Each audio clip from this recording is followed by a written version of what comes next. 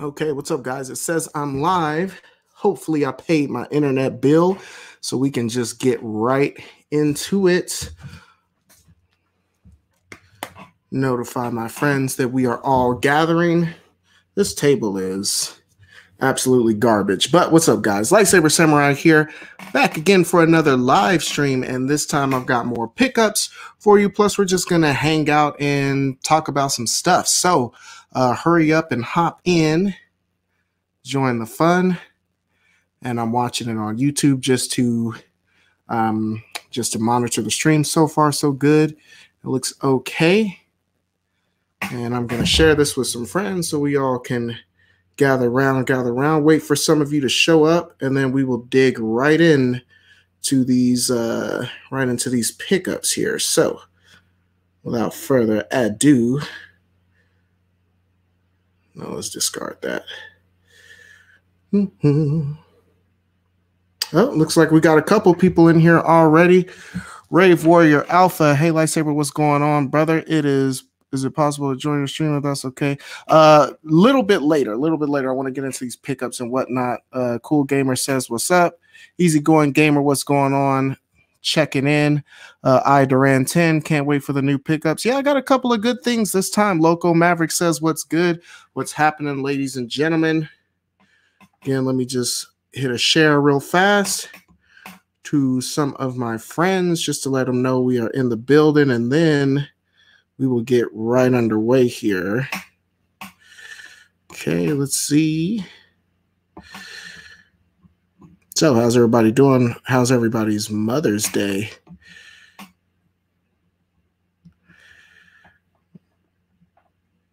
I didn't get to do much. I was working today, so I just got home not too long ago. So, me and my my moms, we got to do it up next weekend.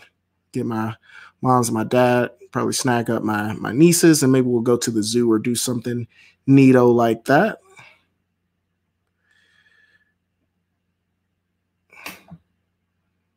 Let's see, and we paste that joint, post that joint, and we are in the building. Okay, so cool gamer, yours was good. Right on, right on. So shout out to all the good moms out there, even the ones that aren't, you know, good, you know.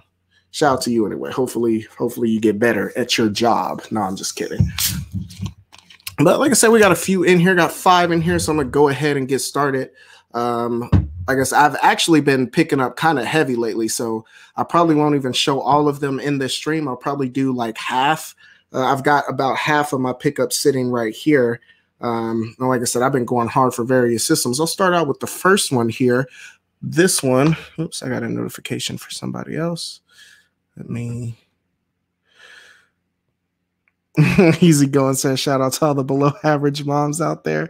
Yeah, man. Oh, local Maverick purple is also your favorite color. Yeah, man. I've been digging the purple a lot lately, and the purple and blue. I think that might just have to become like my official color scheme. I, I play with a lot of colors all the time, and uh, it's nice about my setup because I've got like a bunch of remote controls for my key light here. I activate that from my phone. The purple strip, you can barely see it in the corner there. I can act. I manipulate that with my phone. Use this to manipulate uh, the fill light, the hair light that's shining on me, as well as the light strip over here. So it's nice to have it all like at the tip of my fingers. And so depending on how I'm feeling, I can switch up the look and to match the mood of the video and all of that. So that's really nice. But uh yeah, so let's see going on to the first game. We'll just get right started.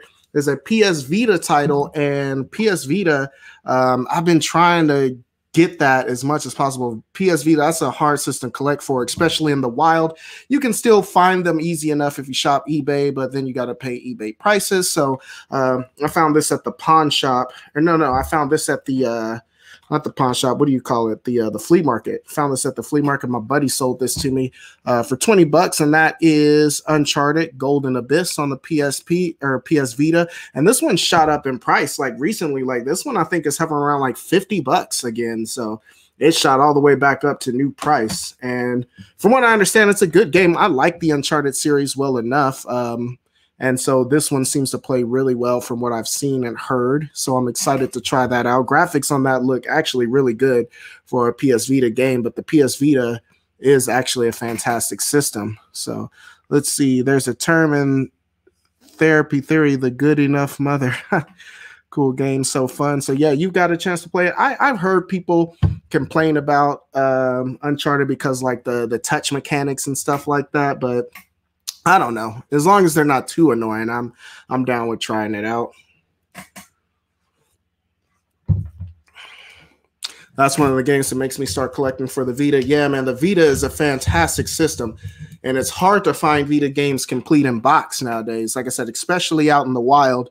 Um, if you pay the price, you can do it um, on uh, you can do it on eBay or online. But like I said a lot of times, especially nowadays with Sony prices going up across all the platforms, um, yeah, it's gonna be you. You're gonna be paying them eBay prices, unfortunately. So that's the that's the only bad thing about that. But like I said, getting that half price, I was with that, and it wasn't a game like I was super duper excited for, but it was a Vita game I had to get in the collection, and it's one of like the uh, it's one of like the staples of the PS Vita, right? Uh, I still don't even have Killzone Mercenary, and unfortunately, Killzone Mercenary is now expensive again.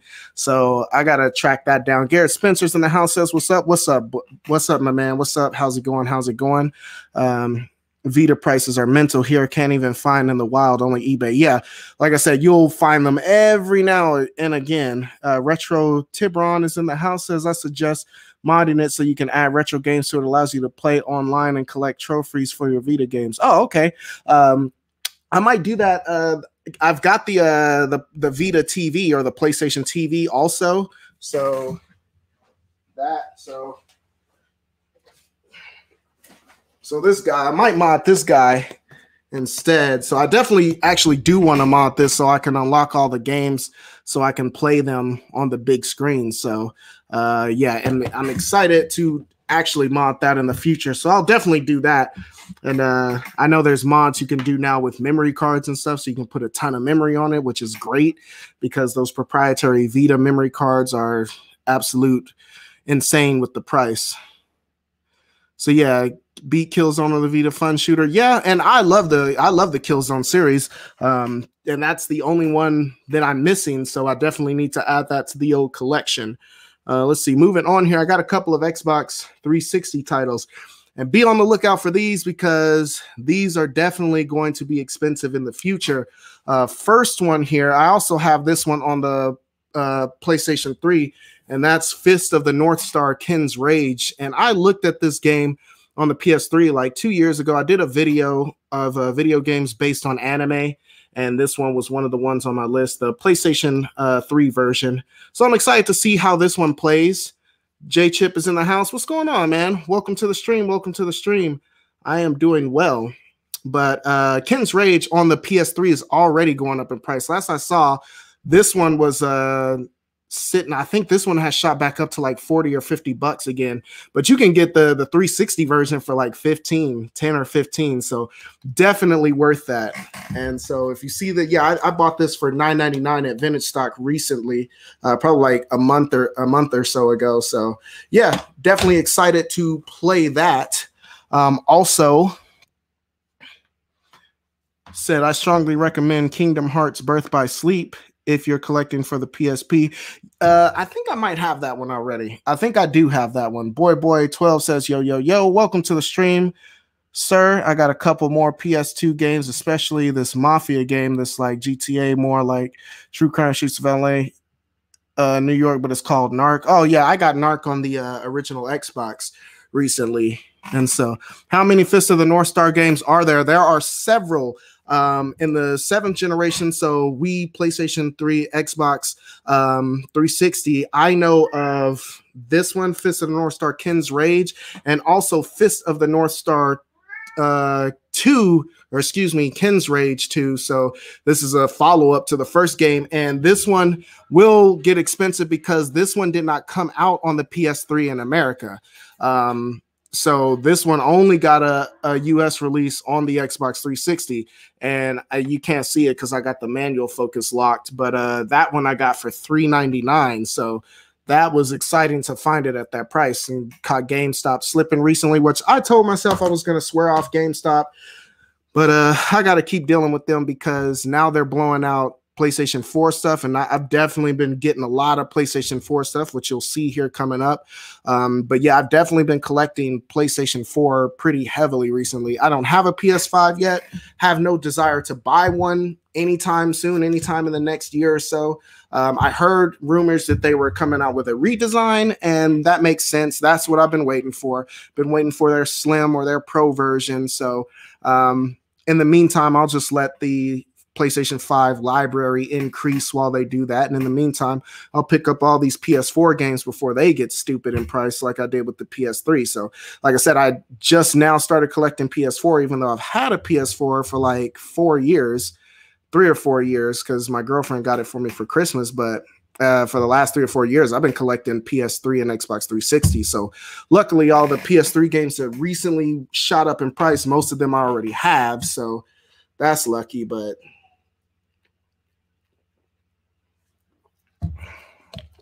There's a fighting game on PS2 as well. Oh, is there? I didn't hear about that. There's a uh, there's a Fist of the North Star game on uh, PS4 as well that I'm on the lookout for, and I can't remember. It's called Heaven something, I think. Um, I know it's there, so I got to grab that. Oh, snaps! Waves and Games is in the house. What's up, Pete? Welcome to the stream. Welcome, welcome. We're just talking about some pickups here, but anyway, definitely those for the Xbox 360. Like I said, you can get Fist of the North, or yeah, you can get Ken's Rage, the first one on the PS3, but that one's kind of expensive now. So I would recommend getting it the Xbox 360 version for 10 bucks. And we got to talk about that. Um, I should make a video on that because there's a lot of these PlayStation 3 games that's shot up drastically in price that you can get for pennies on the dollar on the Xbox 360. And again, especially with the multi-platform releases, the Xbox 360 version tends to play better. So, I mean, this one will probably play better. It might even look better in some cases.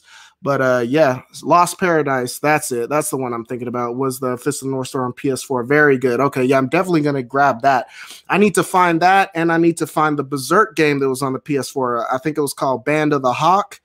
And I, yeah, I slept on that back in the day when I used to see it in GameStop all the time. I was actually waiting for it to drop in price and it got as low as like 25 $27 somewhere in there. I'm like, okay, man, I'm gonna wait until it gets down to 19.99 and then I'm gonna snag it up. And then it disappeared. So um, hopefully I can find that soon. I might have to eBay that one, but I think we still got a little bit longer before PS4 games start to get super crazy in price. So um, yeah, let's see.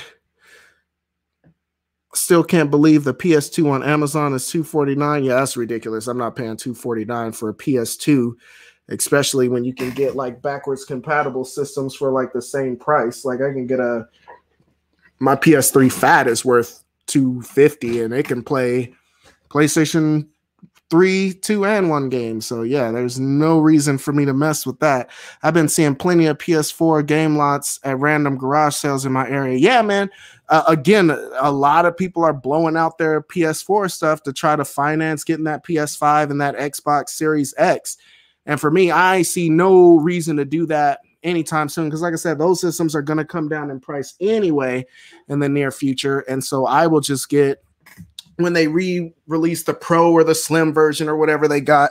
I'm looking here at the rest of my pickups. All my other pickups are from PlayStation systems. So uh, let's see. The only PlayStation 1 game I got recently, this is one that I've been trying to knock off my list for like 35 years. Well, not that long, but like 20 years easy. And I remember this game back in the day, and I always wanted to play it. And then it got random disappeared, and I never found it. But then uh, recently, I was in uh, Lawrence at my favorite game store, Game Nut, there, and got this for 19.99.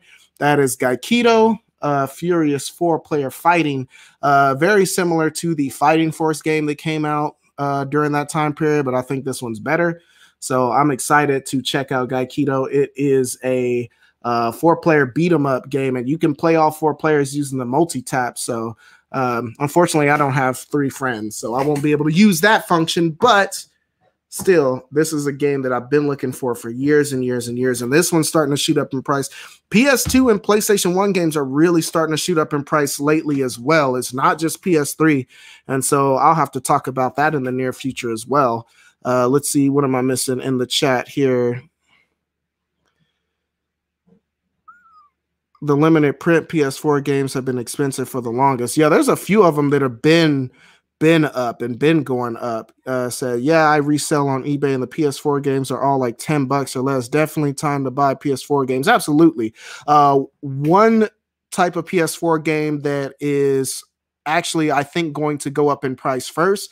And I've already seen it with a lot of their games is PlayStation VR. And so if you guys follow my my buddy uh, Professor Joe Casey on YouTube. Uh, I think his channel now is called Gaming with the Professor. So just type that in, you'll find him. He he's got the he also shares a love of PlayStation VR like myself, but his collection is much more impressive than mine, and so he's really been snagging up a lot of the future heavy hitters on the system. And so PlayStation, um, yeah, PlayStation VR, if you guys haven't got into that yet, I would suggest doing so probably soon within the next probably six to eight months or so.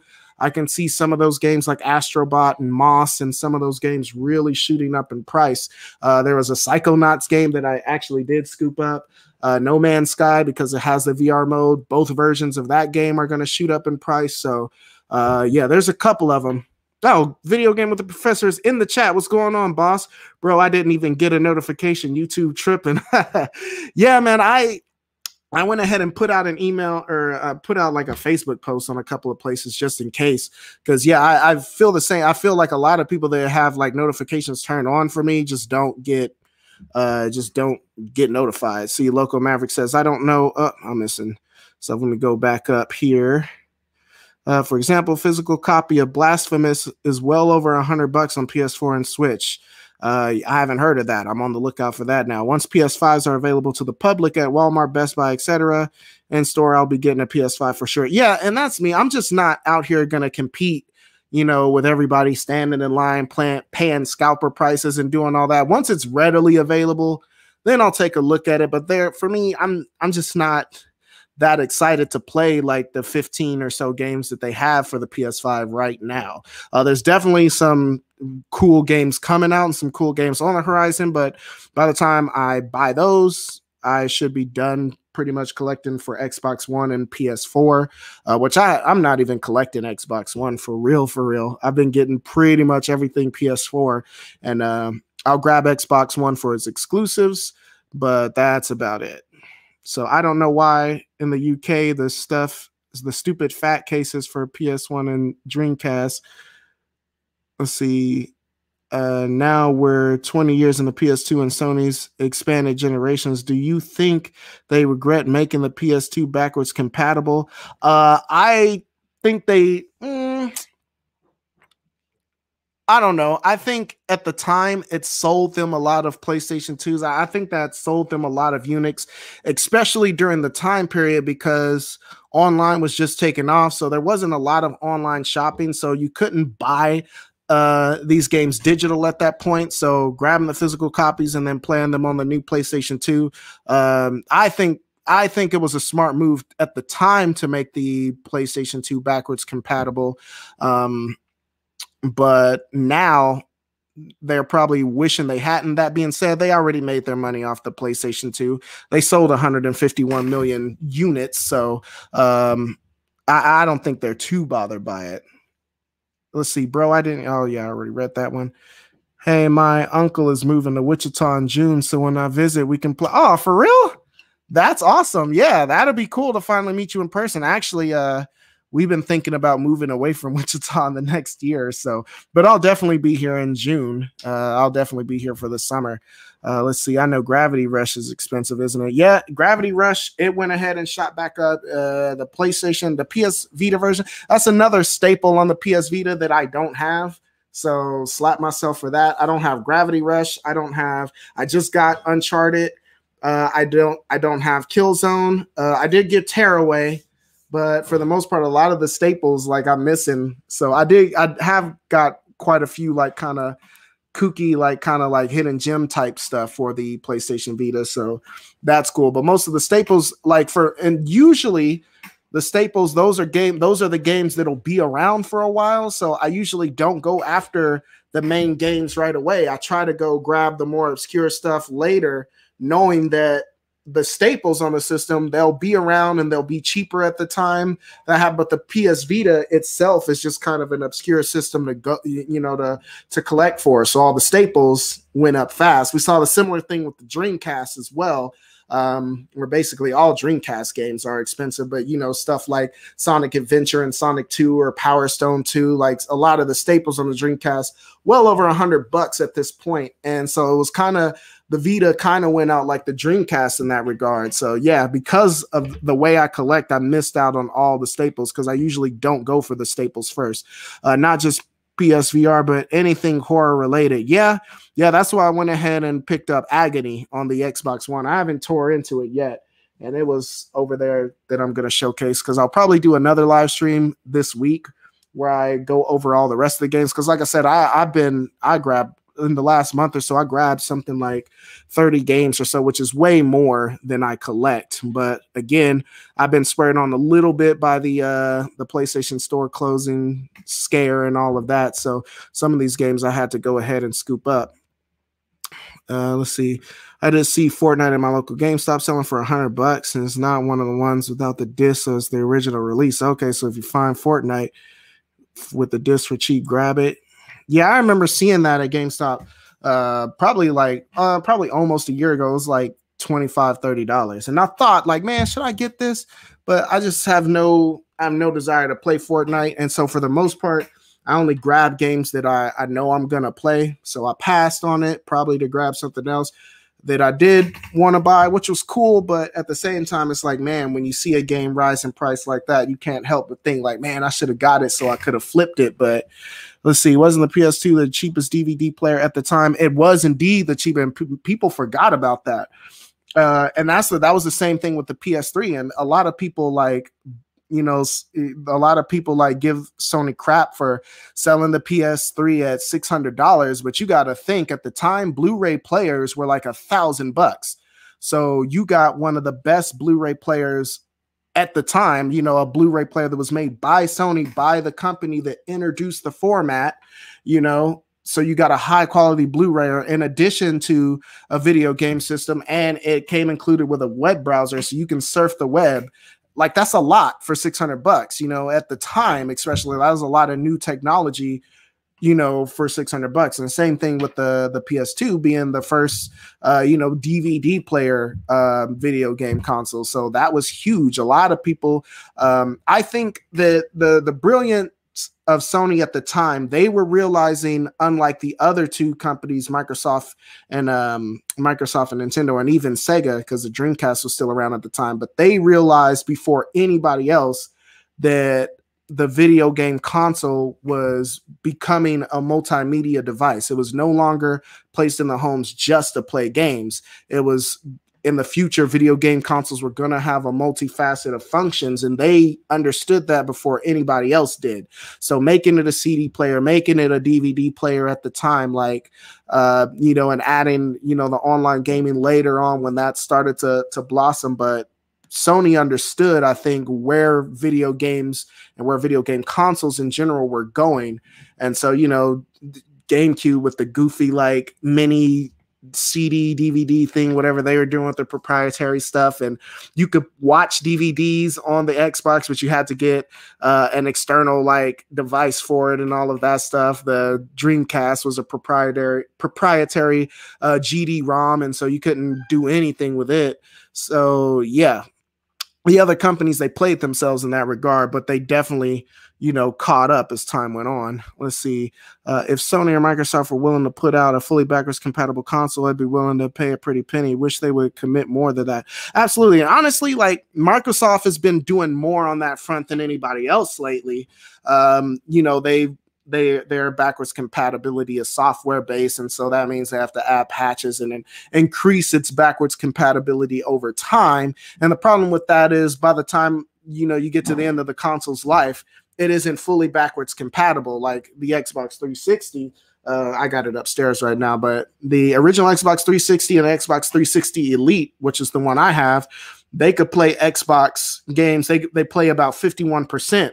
But by the time the Xbox 360 was over, you know, they hadn't crossed everything over. So, you know, there's a lot of games that still simply won't play. And that's the problem with that. And that's, you know, with the uh the PlayStation 3 and with the early PlayStation 2 models, uh, the PlayStation 3, like they it had the emotion engine built in. They basically put a PS2 inside the PlayStation 3. So it was good to go with all PlayStation 1 and 2 games from day one and didn't have to rely on patches and stuff. The older or the, the later models that came along later, like the 80 gigabyte uh, fat ones that had the four ports, those were uh, software. And so they had some issues with backwards compatibility that they had to fix over time. They still did a lot better with that than Xbox. But right now, Xbox is the only one trying to do backwards compatibility. So I got to give them props for that. I just wish they would do more on that front. And I definitely wish the other consoles would do more as well. Um, yeah, fully backwards compatible console. I wish, man. I wish. Do you have uh Danganronpa for the Vita? Nope, nope. Those I forgot about that. I missed out on all those games. The Trigger Happy Danganronpa. There was two of them, and then there was a third one that there was like it wasn't um, it was more of like a third person shooter. It was like something hard girls or something like that. I almost bought it and I should have bought it. I should have bought it. It was like 35 bucks or 40 bucks if in stock some time back. And honestly, I didn't have the money. Like I was like, ah, no, I got some bills coming on. I gotta make sure I have cash for that. But yeah, man, I passed on the Danganronpa games because for the most part, that's not really my bag to play those types of games. So man, I should have got them anyway. Uh, luckily, I think they most of them, if not all of them, got remasters on the PS4. So that's probably where I'm going to track them down at because the Vita versions are quite expensive now. Little TT, how am I doing? I am walking on sunshine. We are out here busting out this live stream. I got some cool pickups to show you. I got some more. Let's see. Joe Case says Danganronpa trilogy on the PS4 will be a crazy expensive. Yeah, I didn't know they had a trilogy package. So that's definitely what I got my eyes on. Funny enough, the Xbox One S was the cheapest 4K Blu-ray player. Yeah, which is crazy to think about. But the Xbox or but the uh the the Xbox One S also came out several years, you know, it came out in like what 2020 2012, 2014, something like that. So at the time, Blu ray players had been around and they had been a thing. But like I said, in 2005, when the PlayStation 3 dropped, and yeah, it dropped for 600 bucks, but in 2005, like that was that was a steal for a Blu. Like people people were talking crap on Sony for selling the PlayStation 3 for $600 and would at the and the same people would just willingly go to like Best Buy and buy a $900 Blu-ray player. Like it was it was ridiculous. Game preservation is important, and I wish like some of these companies would stop being so stuck up, especially about their super old IPs. Like Nintendo is notorious for that. Like Nintendo, stop tripping and let these people preserve these games. Like that's why I don't cover much Nintendo stuff on my channel because I don't want to be like a Nintendo YouTuber. Nothing against Nintendo YouTubers or like Switch YouTubers, but Nintendo hasn't been my thing for a long time. So eh, yeah, they just be doing some funny style stuff. And honestly, like they have good games, but I've had my best experiences on the Sony and Microsoft consoles. So that's why I keep reinvesting in those. Even though Microsoft made a ton of OG Xbox games playable on the 360, bunch of them didn't play well. For example, X-Men Legends and Tony Hawk 4 parts of the yeah, and that's true. And a lot of them um would also like you could play them, but like features would be missing. Uh certain features of the game would be missing. So that that was an issue.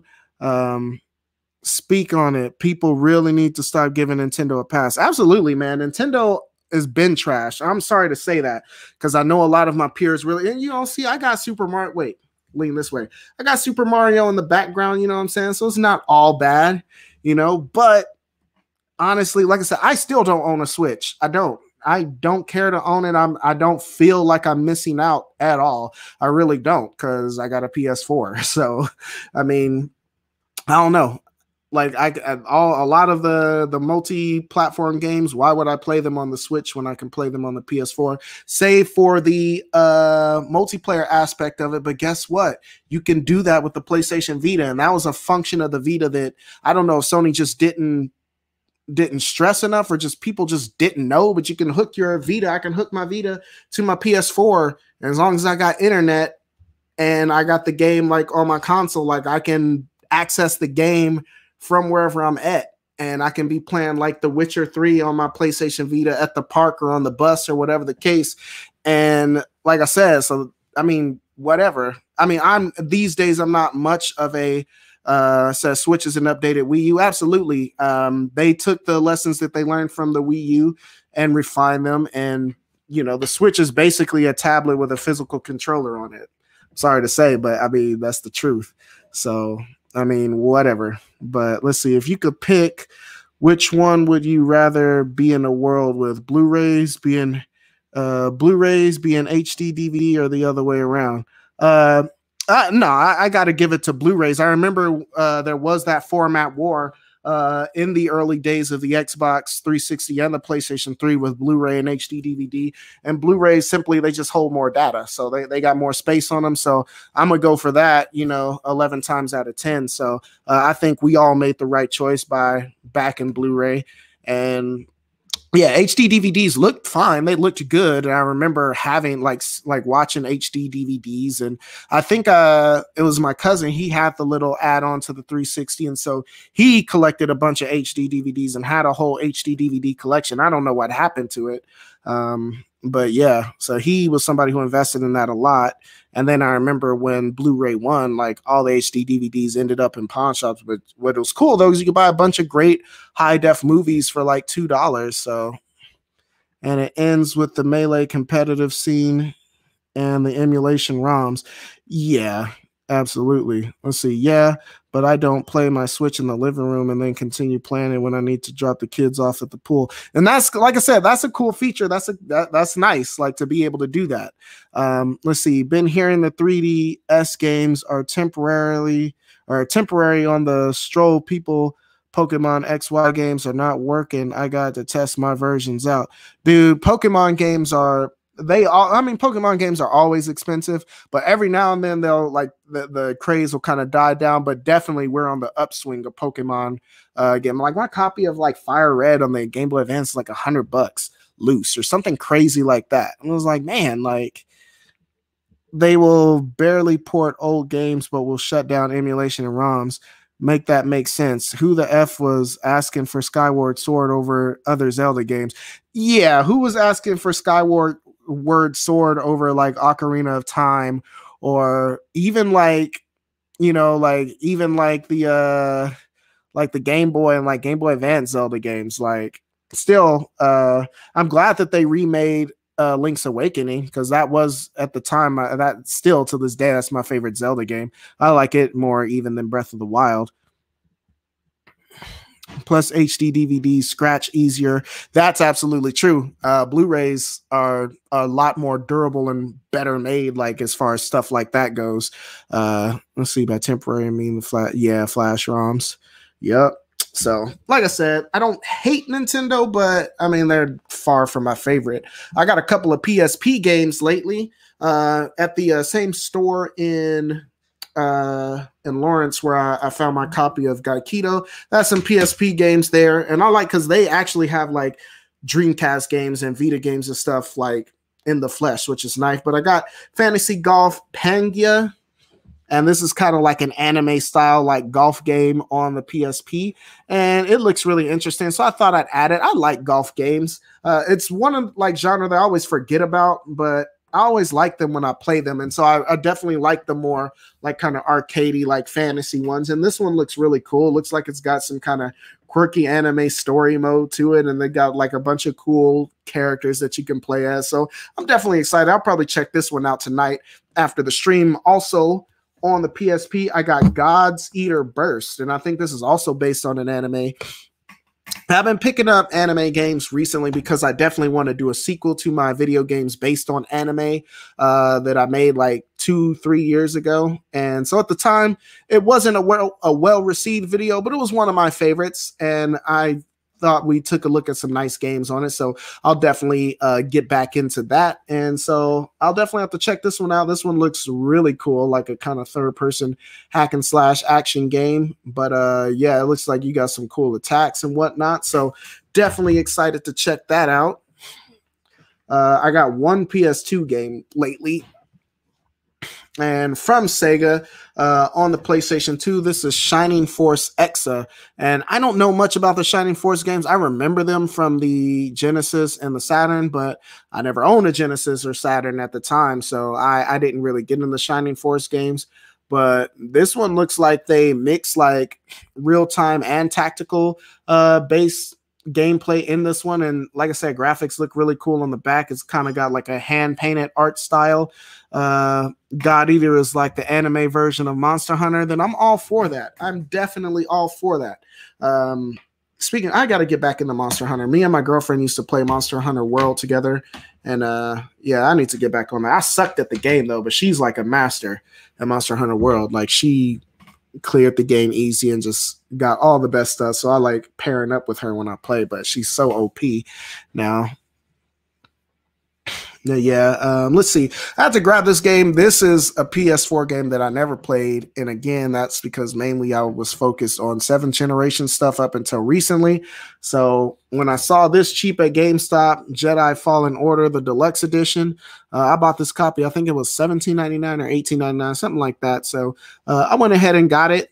Uh, this one, I remember seeing all the gameplay back in the day. My homeboy Slumpenstein was streaming this game pretty heavy at the time, and it looks really good. It still doesn't seem like it captured the type of gameplay and feel that you got with the Jedi Knight games, but I would say this one, it looked better than the Force Unleashed as far as, uh, you know, just kind of the, uh, the lightsaber combat and stuff goes in that. It looks like it has a really cool story.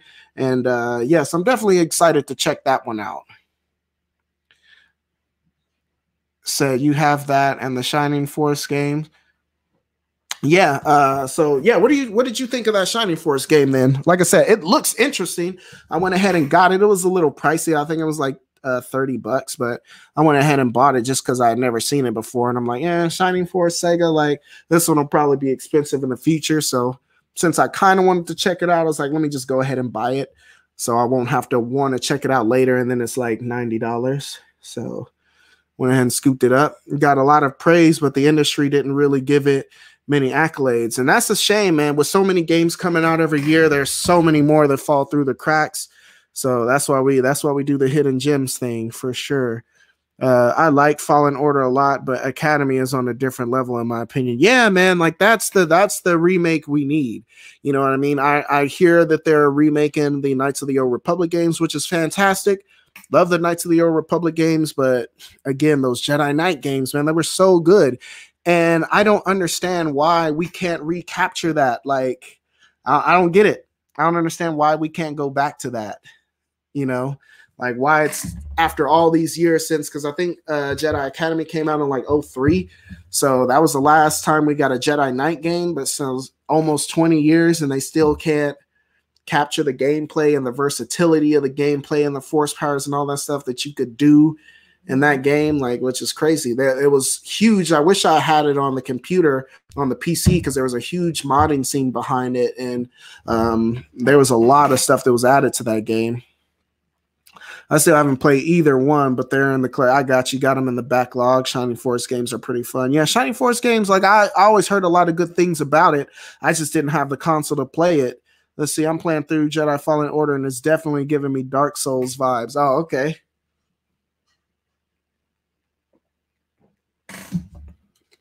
And like I said, it's always nice to get more Star Wars lore, especially since this lore is considered canon. Um, as you know, the Force Unleashed games at the time they came out, they were considered canon, but then they were quickly retconned um, when LucasArts made the move to Disney. So that's unfortunate because Starkiller is a really cool character. That being said, I don't know of any of the new canon lore that actually gets in the way of that, you know. So who knows? Like maybe you know, Starkiller will show up at some point, or maybe in a in a slightly different form or fashion um, in the future. So let's see. Moving on, the rest of these games I got are PlayStation 4 games. Like I said, I've been going hard. I picked up like 15 PlayStation 4 games. I won't show them all today, but ugh, we will show them here in the future. This one is one I've been wanting to pick up. It's a nice little Neo classic by Natsume. And of course, I'm talking about Wild Guns Reloaded. Um, this one again is one that I was just kind of waiting to get cheap, but then it got to the point where I stopped seeing it on store shelves. So when I saw it uh, earlier this week and saw it for 19.99, I was like, yeah, let me just go ahead and buy this now and get it out of the way. Uh, it's a caravan shooter, so it's kind of you know like you're standing in the in the foreground and you sh- you just stand basically and shoot everything in the background that pops up and whatnot. And uh, like I said, it's a remake of the version on the Super Nintendo, which uh, complete in box on the Super Nintendo, Wild Guns is like a thousand bucks. So uh, uh, yeah, if I can get the definitive version of that game for twenty dollars, I'll take that all day. So let's see.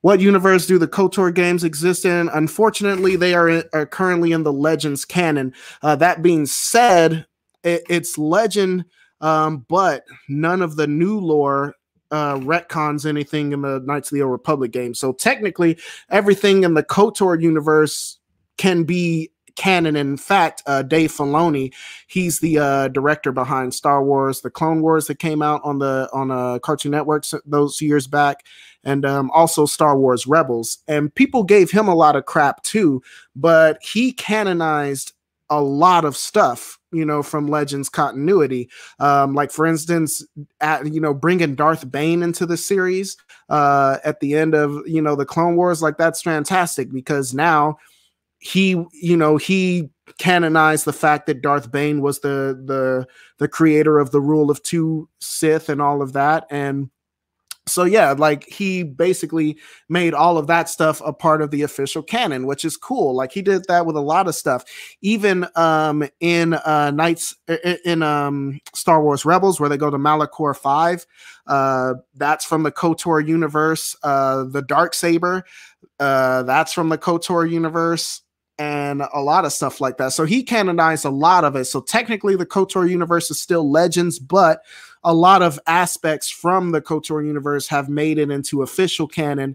And for the most part, the official canon does not retcon uh, any of the KOTOR stuff. So technically, all of that can be accepted uh, without any issue. The backdrop is clean. Oh, I appreciate that. Yeah, it's that's what I like about shooting at this uh, this low aperture, the 1.8. You can't really see how messy it is because it's all blurred out.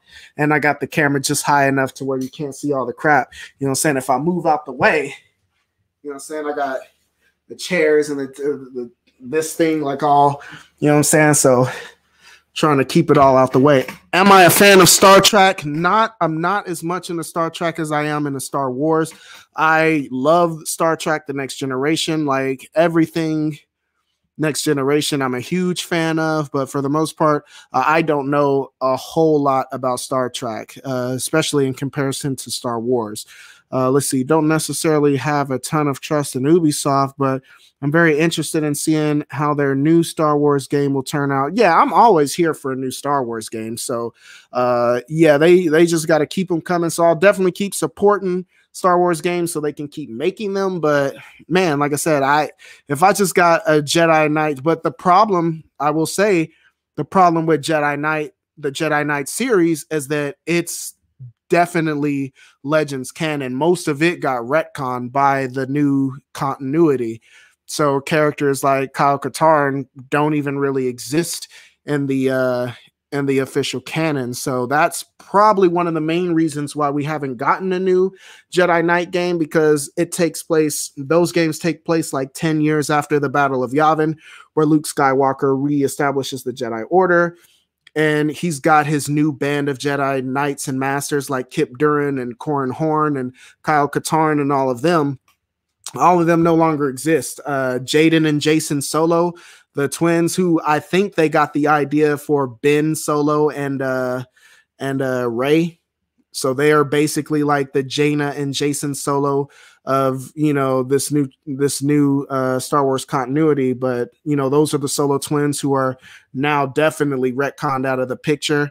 Um, Luke Skywalker actually has a son named Ben Skywalker, and for them to name Kylo Ren Ben Solo, that doesn't make any sense because like none of them knew really knew Obi-Wan Kenobi as Ben.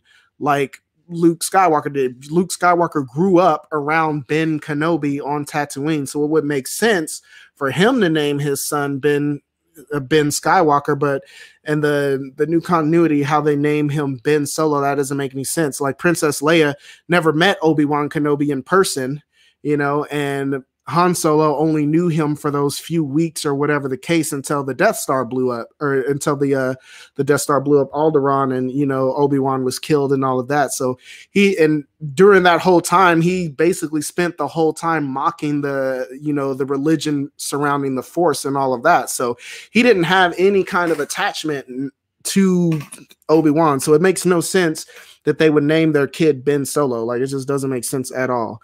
So but anyway, Let's see. Am I focused on trophies? Not too much. Not too much. If it's a game I really like, I'll try to unlock everything in it just cause. Uh, and maybe like just to get more replay value, then I'll start trophy hunting just for the fun of it. But for the most part, I don't really care about that. I was much more into collecting achievements on the Xbox 360. And where achievements were better than the trophies was in the fact that they put, you know, they gave it numerical value. So it was kind of like having a high score in an arcade game. It was a tangible number that you can show off to your friends of how good you actually are. So I don't really achievement hunt either, but I'm definitely more enthusiastic about getting achievements than I am about getting trophies because, you know, on my Xbox One, I've got my my whole career total since the days of the Xbox 360 and what my current gamer score is and all of that. So that was a really cool idea. Um, but yeah, in any in any uh, event, I don't really try to like platinum games or like get a thousand gamer score on any game or whatever the case. Uh, let's see. I am sorry. I'm I got off on a tangent on a Star Wars tangent, and now I'm missing a bunch of comments here. Let's see. Still haven't played it. Blah, blah, blah. Okay, let's see. Okay, I'm not too far behind. Professor says I'm playing hardcore games on Game Pass and on yeah, man, Game Pass is that that yeah, they they really did that with Game Pass. Like they definitely got a leg up. Uh, he also says Wild Guns Reloaded is a good joint. Yeah, I'm definitely excited to check that out. Uh, Unleashed 2 was booty. Yeah, man, on the Star Wars Unleashed 2 like they could have put that all on the same disc. Like it was definitely more of a DLC gone wild, you know, as opposed to an actual whole game. Uh, let me see, what's the culture of of GameStop looking like these days?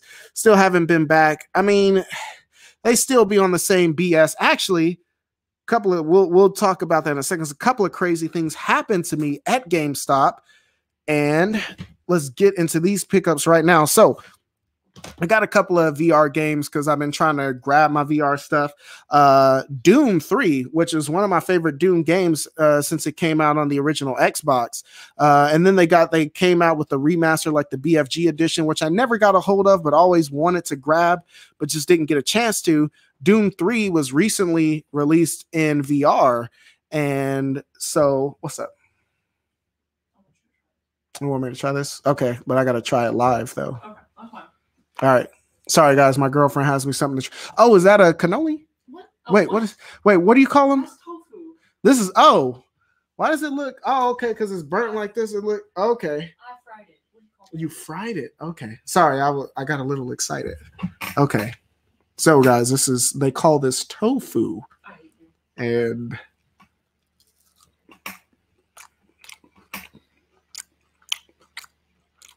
that's pretty good. Yeah. Okay. That's pretty good. You gonna? I went in just. Okay. You gonna sneak this in my dinner tonight? Mm-hmm. All right. Bet. Bet. I mean, yeah, this is good. I'm excited. So I don't know what she's cooking. It smells good, yo. And this tofu stuff is very interesting. So she said I'm being weird about it. I'm being a little weird. My bad. My bad, girl. You know I'll be doing too much. That's my whole shtick, okay? Oh, it says my mic is randomly peaking. Let me. My gain is probably a little up there. Oh yeah, my gain is way up there. Let me turn that down. Whoopsie. Yeah, it's probably peaking when I'm leaning in. So hopefully it's sounding better. Now let's see. But yeah, the culture of GameStop. Okay, so I'm gonna follow this. So anyway, so I bought Doom 3 VR edition. It hasn't been out very long, only like a month or so. So there were no new copies, or there were no used copies, but I did get a new copy. But whoa, you okay? Everything all right? All right, I was a loud, sorry, I heard a loud crash upstairs. But anyway, so Doom 3 VR, but you'll notice this bad boy is sealed. So Microsoft, uh, Microsoft GameStop does this dumb thing where they take games that they get new and they open them up and put a little sticker on them or whatever and say they're new and then basically sell you an open game for new price. But I was surprised that I bought this new game at GameStop and it was actually factory sealed. So that's pretty crazy coming from GameStop. Not only was that factory sealed, but I also got Wolfenstein Cyberbot for like $10 brand new and it's also factory sealed. So that's crazy again, uh, the Doom game was 19.99 new, so I'm like, ah, that's 20 bucks. I'll go ahead and buy it new since I can't find a used copy. And same thing with Cyberbot, it was ten dollars, so I was like, eh, that's cool. I'll just buy it new, whatever. But they were both factory sealed. I was super surprised because they GameStop does not do that. Um, let's see. Professor says, "Boy, boy, I gotta start back hitting GameStop for those PS4 and Xbox sales about to. Yeah, man, I'm, I'm I guarantee you this this summer, man, Xbox is going crazy with the eighth generation stuff. Guarantee it. So yeah, I'm definitely gonna flesh out. I'm gonna gr- make sure I grab all the exclusives for the Xbox One, and um, yeah, everything I want to get on PS4. I'm definitely gonna try to grab this summer because again, by this time next year I really feel like the uh, PS4 stuff is going to start going up. Seems like he was too close. Yeah, I think I was too close to the mic. Let's see. It's a wall of Funko Pops at GameStop these days. Yeah, man, that's true. And going to GameStop, honestly, it depends. Most of the GameStops in my area, like, there's no actual games in there. It's crazy. Like, the walls are so bare they'll sell a bunch of they they sell like a bunch of swag now like they got a bunch of like you you can you can you can't get the latest game on ps5 but you can definitely get a wallet with the triforce symbol on it. You can definitely get that at gamestop. So yeah there's just a bunch of it's like it's like hot topic for video games when i walk into gamestop now. Like it's weird. There's very very few games um like I said, the seventh generation stuff will be all gone by the end of this year. Uh, I only see ever see like maybe a handful of games like on a little small little shelf for Xbox 360, PS3, Wii, and Wii U. So they, I don't even know if they're accepting those games anymore. But uh, yeah, so that's about to dry up super fast. But yeah, they just don't be having no games in there. That being said, they're mm, as far as the retro stores go, uh, I don't see as much PS4 stuff in the retro stores yet. So, really, with PS4 stuff, like GameStop is my best bet if we're talking brick and mortar. Um, every now and then, like Walmart will randomly like uh, blow out like a bunch of games and stuff like that, so you can get new sealed games at Walmart for super cheap. I see them do that with 3DS games uh, every now and then, and so that's cool. I don't collect for. I used to own a 3DS. I sold it. Um, what is your pet peeves when it comes to collecting? Yeah, 360 was dope. 360 was dope. I, I like the 360 more than the PS3, honestly. Uh, when it comes to seventh generation, I, during during the actual seventh generation, I was all in on the Xbox 360. I eventually got my PS3 later on, and I loved it as well. But yeah, man, that Xbox 360, I was all in on that joint. Let's see video game. Okay, boy, boy, letting uh, the professor know it's a good way to go about it. Take advantage of themselves, my boy. Absolutely, and they're definitely, you know, the, the, professor, man. He lets y'all know, man, when they're whenever they're blowing stuff out for the the four for ten, the four for twenty, man. You got to get on that. I've got so much stuff listening to to Professor Joe Casey when whenever he puts me on when he's like, hey, I just got this for the four for 10, the four for two, I go to GameStop that day. And I've got a lot of stuff based on his recommendation. So again, if you guys haven't checked out his channel, definitely do that. You see him there in the chat, video game gaming with the professor. Um, I'm sorry to hear about your your MacBook though. That sucks. So that's to slow you down, but not really, because you're still to be out there getting it in. Let's see. I know it's probably an unpopular opinion, but I hate to see GameStop close all their physical stores completely. Yeah, honestly, it's I don't like GameStop as a company, but we need to have brick and mortar stores when it comes to video games. Like we just we just got to have it. And honestly, if people are some weirdos out there really like preying on GameStop's downfall, but if GameStop disappeared tomorrow, the problem with that is there's nobody to fill the void that GameStop will leave behind. And because of that, people and these video game companies will start to think, well, if the major, you know, the only major brick and mortar store for video games has collapsed and there's no need for physical games. And that's going to spell the end of physical media as we know it moving forward. So, uh, yeah, places like stores like GameStop are super important. We saw that here in America where when EB Games went under. And I think there's still some some EB Games here in America or in North America somewhere, but in my neck of the woods when uh, EB Games disappeared overnight, they all became GameStop stores. Like GameStop at the time was big enough to fill the void left by EB Games uh, here in North America. So if that were to happen, uh, you know, smaller companies like Game Xchange or Vintage Stock, I don't think that they're big enough to fill the void left behind by GameStop. So the only place you'd be able to go is like the major retail chains like Walmart and Best Buy and all of that stuff. And who really wants to do that? Not me. So, uh, yeah, I'm definitely down with GameStop being around. I think they're shifting their focus away from video games too much. Uh, like Wave said, there's just walls of Funko Pops, and now I do now I I have seen that they're pivoting more towards content creation and and uh, streaming. So you can like get like little ring lights there and little desktop setups, you know, so you can get your PC going for live streaming.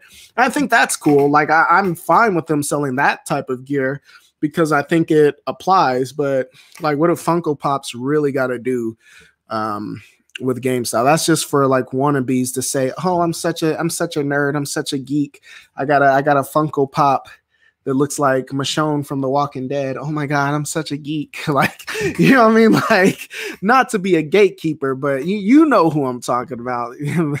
uh, let's see. When I worked at GameStop, we only ever opened uh, one copy for display. Yeah, man, back in the day, that's the way it used to be. But for a while, like they just be. I told y'all what happened to me on my birthday, like in December, right? Like, uh, so me and my girlfriend, we were watching uh, My Hero Academia, like watching it heavy at the time. Like we were going hard for it, so hard, in fact, that I was looking for other ways to soak up My Hero Academia. So uh, they had a the the fighting game, the Heroes Justice 2 or whatever it's called. Um, so we went to GameStop to go get that on my shoes, says she'd buy it for my birthday. So I'm like, bet. So we go up to GameStop uh, down the street in our local mall. And you know, they were doing this thing where they'll have the game there, the display case, and then they'll say, Oh, it's this price new and it's this price used. Have both the prices there. So I'm like, Hey, can we get the used copy of this? And she's like, Oh, well, we don't have the used copy, but we have it new. And they always say that, by the way. So just FYI, it's very hard to get used games at GameStops these days because they always say that, oh, we don't have it used, but you can spend like five bucks more, 10 bucks more and get it new type of deal. You know, I think just to coax you into buying it new and spending more money. But anyway, so my girl, she was like, it's your birthday. I'm to go ahead and do it. Fine. Let us get the new version they didn't know where the case was because they open their stuff up and separate the game from the case. So they gave us the disc and put it in a black generic case and was like, that'll be $42. and I said, "What?" I was like, "I, I was like, this is not a new." She's like, "It's a, it's a new disc. It's never been used." I'm like, "That's not a new game. Like, I can't resell this for new if it's a disc in a generic ass case, like get out of here. So needless to say, we did not buy that. And uh we promptly left. But yeah, so they were doing that. Well, again, that's why it was so weird to get games from GameStop and them actually be factory sealed. So that was I was impressed by that. I'm sure that that was probably more of an anomaly, and that you still going to get a, a used copy if you buy a new game at GameStop. But like I said, in the case of Doom, since it had just come out and it was only 20 bucks, I was like, cool. And this Wolfenstein game has been out for a while and it was only 9.99. So I was like, ah, that's cool. I'll take that too. So that's why I went ahead and did it check out your Yeti mic, ADJ. yeah, what's up, Mr. Bozo Calvin? Like, what's going on, Calvin? Welcome to the stream. Welcome to the stream. I didn't see you there for a second, but I'm glad you're here. I'm trying to get the LEDs popping like you got in your room. All I need is some anime posters. I got actually I got my my uh cowboy bebop poster but it's in the other room. I don't have it posted up in here. Uh yeah hippie gold what's going on my man? Welcome to the stream welcome to the stream. Juan francisco it's in the house serious talk. When are we getting a siphon filter remaster collection? Man siphon filter was such a good series it got overshadowed by you know metal gear solid but at the time when metal gear solid came out there was a lot of games that came out during that time that was trying to cash in on the metal gear formula and there were a lot of clones and a lot of fakers and wannabes, but I think Siphon Filter did it better than anyone else. And Siphon Filter, you know, like was a fantastic third person action adventure game. Now, the first game, it had that, the, it was the, uh, I think it was like the third area you go to is Ro- uh, Rhoemer's base. And that was basically just like being on the outside of Shadow Moses. It was out in the snow and the enemies were dressed the same in all the white, you know, combat gear and stuff, and you're in your little like white combat gear, and you have to stealthily sneak around. Um, and you couldn't walk up behind people, and you couldn't knock on walls, and you couldn't uh, walk up and snap people's necks. But what you could do is headshot everybody, and so that was cool. You could shoot out lights, which was fantastic. You can use uh, other methods like using gas grenades which were silent and highly effective so um, you you know you have the slow uh, stri- uh, strafing action that you can do in that game, and you could crouch and you could roll and do things like that. So playing that game in a stealth setting uh, was actually really cool. Um, Siphon Filter 2, when it came out, I think they went a little overboard with the stealth missions, and plus it was those annoying type of stealth missions where the the the the game was over as soon as you were spotted type of thing. So that was dumb. But yeah, Siphon Filter was a fantastic series. Uh, when it started to get new life on the, the PlayStation 2 and the PlayStation Portable, I was super hyped for that when we got a uh, Dark Mirror and Logan Shadow. And I was like, oh, awesome. Like you got to play as Gabe again because uh, Omega Strain had come out for the PS2. And that one was kind of weird. It's not a terrible game, but it definitely is the weakest in the series. Um, but they got back in the form with the, the two latter games. I'm like, okay, so we definitely, you know, they're going to give us that Siphon Filter 4 next and all that. And we were going to get back into it. And no, it just disappeared. So Gabe Logan has been missing in action for like 10, 15 years now. But we definitely need that remaster because remaster will get people hype enough that they'll make a new game. That's what I'm hoping for. I would love to see a remaster, all of them on one Blu ray. You know what I mean? So all downloadable content or collections now they're uh, coming out with Teenage Mutant Ninja Turtles and Fall Guys and House of the Dead remake coming soon for the Switch. Uh, that that's exciting. I don't have a Switch though, so. But let's see. That's love, bro. Absolutely, yeah, man. Like, you, yeah, you. I recommend your channel highly because you got fantastic content and you cover a lot of things better than I do. Like I said, I I think you know what I'm saying. I think I got a, a VR collection. I think I'm into the VR, but no, like the professor is into VR. You know what I mean? Like I think, you know, I got some I got some PlayStation Vita games, you know what I'm saying? That's cute, you know, but you you got like a hundred Vita games and you got, you know, hundreds and hundreds of like you already got like something like a hundred and, and I liked your philosophy how you were talking about you were collecting for the PS4 before you bought the PS4. So by the time you actually got the console, you had already had a slew games, and that's a great that is a great uh that's a great piece of advice. Not to necessarily don't wait until you get the console to get the games. If it's a console you know you're going to be into, you know, and that so I'm going to take that to heart. If I see some PS5 games go on sale and go for the cheap before I buy a PS5, I'm gonna go ahead and grab them. So when I buy my PS5 console, I'm already gonna have the games. And Joe Casey was talking about how he did that with the PS4. So by the time he actually got his console, he already had over 100 PS4 games. So that that was impressive. So these resellers who, yes, the resellers who want GameStop to fall off, absolutely, they will absolutely make a killing if GameStop disappeared overnight. Yeah, man, it, it would be bad. Like it would be bad for real. Um, let's see. I mean, I have a wall of Office Funko Pops. the selection at my GameStop is trash. Yeah, most of yeah, that's what the most of the GameStops. There's one in my town that's out. It's on the other side of town, and no one ever goes to it, I guess. But they their shelves are pretty stocked. Where I got these two games, and I got some more PS4 games also. Um, it was in a nearby city in uh, Derby, Kansas, which is a good like 15 minutes uh, outside of Wichita. So it's just a quick drive south, and uh, there's a GameStop in there that had a really good selection. I haven't been there in a while. Um, yeah, at J Chip uh, show, they even asked me why my phone models it's advertised. Yeah, they're Yeah, they are taking a. They be taking phones and everything else. They sell gutted as new. Absolutely. Bozo says you skipped my comments. Did I skip your comments? Now I got to look for them. No, I didn't. I read that. Okay, if I did, I don't see what I skipped. Maybe I just I, I've been reading these out of order, just FYI. So I'm kind of going up and down like a weirdo. So that's probably my dyslexia doing that to me. I just wanted to stop by and say hi, TSM Aiden. Welcome to the stream. If you're still here, glad you stopped by. Appreciate you being around. If I had hundred games before PS4, I would be busy for three years. Man, yeah, that's true.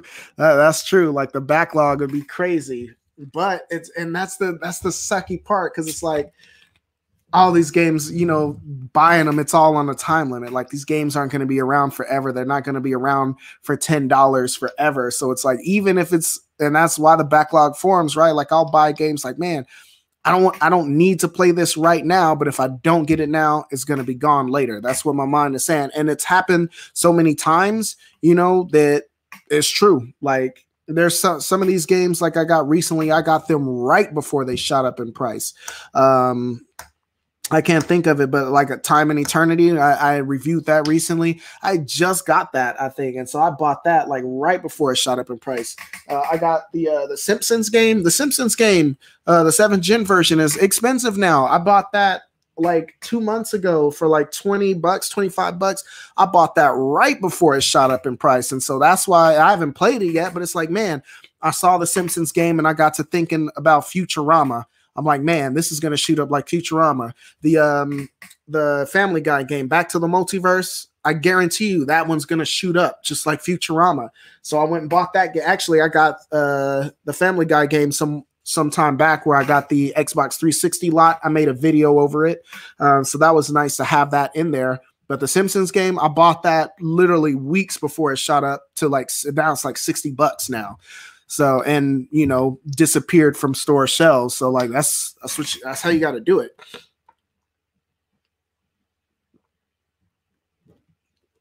It's like I got the backlog. I don't want my backlog to get so crazy that I don't think that I can play them all because that is the ultimate goal of your collection to play every game you own. Uh, right now, I probably got about 170 to 200 games in the backlog, so I don't think that's terrible. I think that is something. If I'm gaming a lot, I can catch up and play them all. But yeah, man, it, yeah, backlog is crazy. Yep, Happy Go or yeah, Happy Ghosts' backlog is crazy, but you got to have it. That's absolutely true the backlog is the best part of having a game collection. You'll never be bored, and that's true. Whenever I get to itch to play something new, and I want to go to uh, pick up some games, but I'm broke, and I'll just go to the shelf and be like, man, like, uh, you know, what, what's a, something I haven't played, and then that's a new game because it's new to me. So uh, let's see what else am I missing. What anime have I been watching lately? Um, I've been watching a whole lot of anime lately. Uh, I've been going through Hunter Hunter, of course. Uh, Promise Neverland season two is out. I haven't got around to watching that yet because I'm waiting for my girl to have some free time because we watched, we binge watched the first season like in one day. So we binge watched that together. So when we get a day, we'll sit down and watch that. I heard it's not as good, but I still gotta still gotta check it out. Uh, Beastars is back with season two. I, I like me some Beastars. That's a crazy crazy it's a crazy show but beastars is actually pretty good. Um although i think that one might i don't know if that one's a western made one or not but i'm watching beastars uh, yasuke is out on netflix so i definitely got to check that one out when i get time and so so those are what's on my list in the near future. Um my hero academia i know they came back recently but i'm waiting for uh them to just like finish some more seasons and then i'll go back to that and binge watch that. Um let's see says you're spot on. It looks like something you might be interested in. You see it for cheap, might as well go ahead and grab it. Absolutely, absolutely. I got a what is this game I got recently? Here, I don't know where I put it out. It might be on the shelf, might not be. I don't even remember the name of it, but.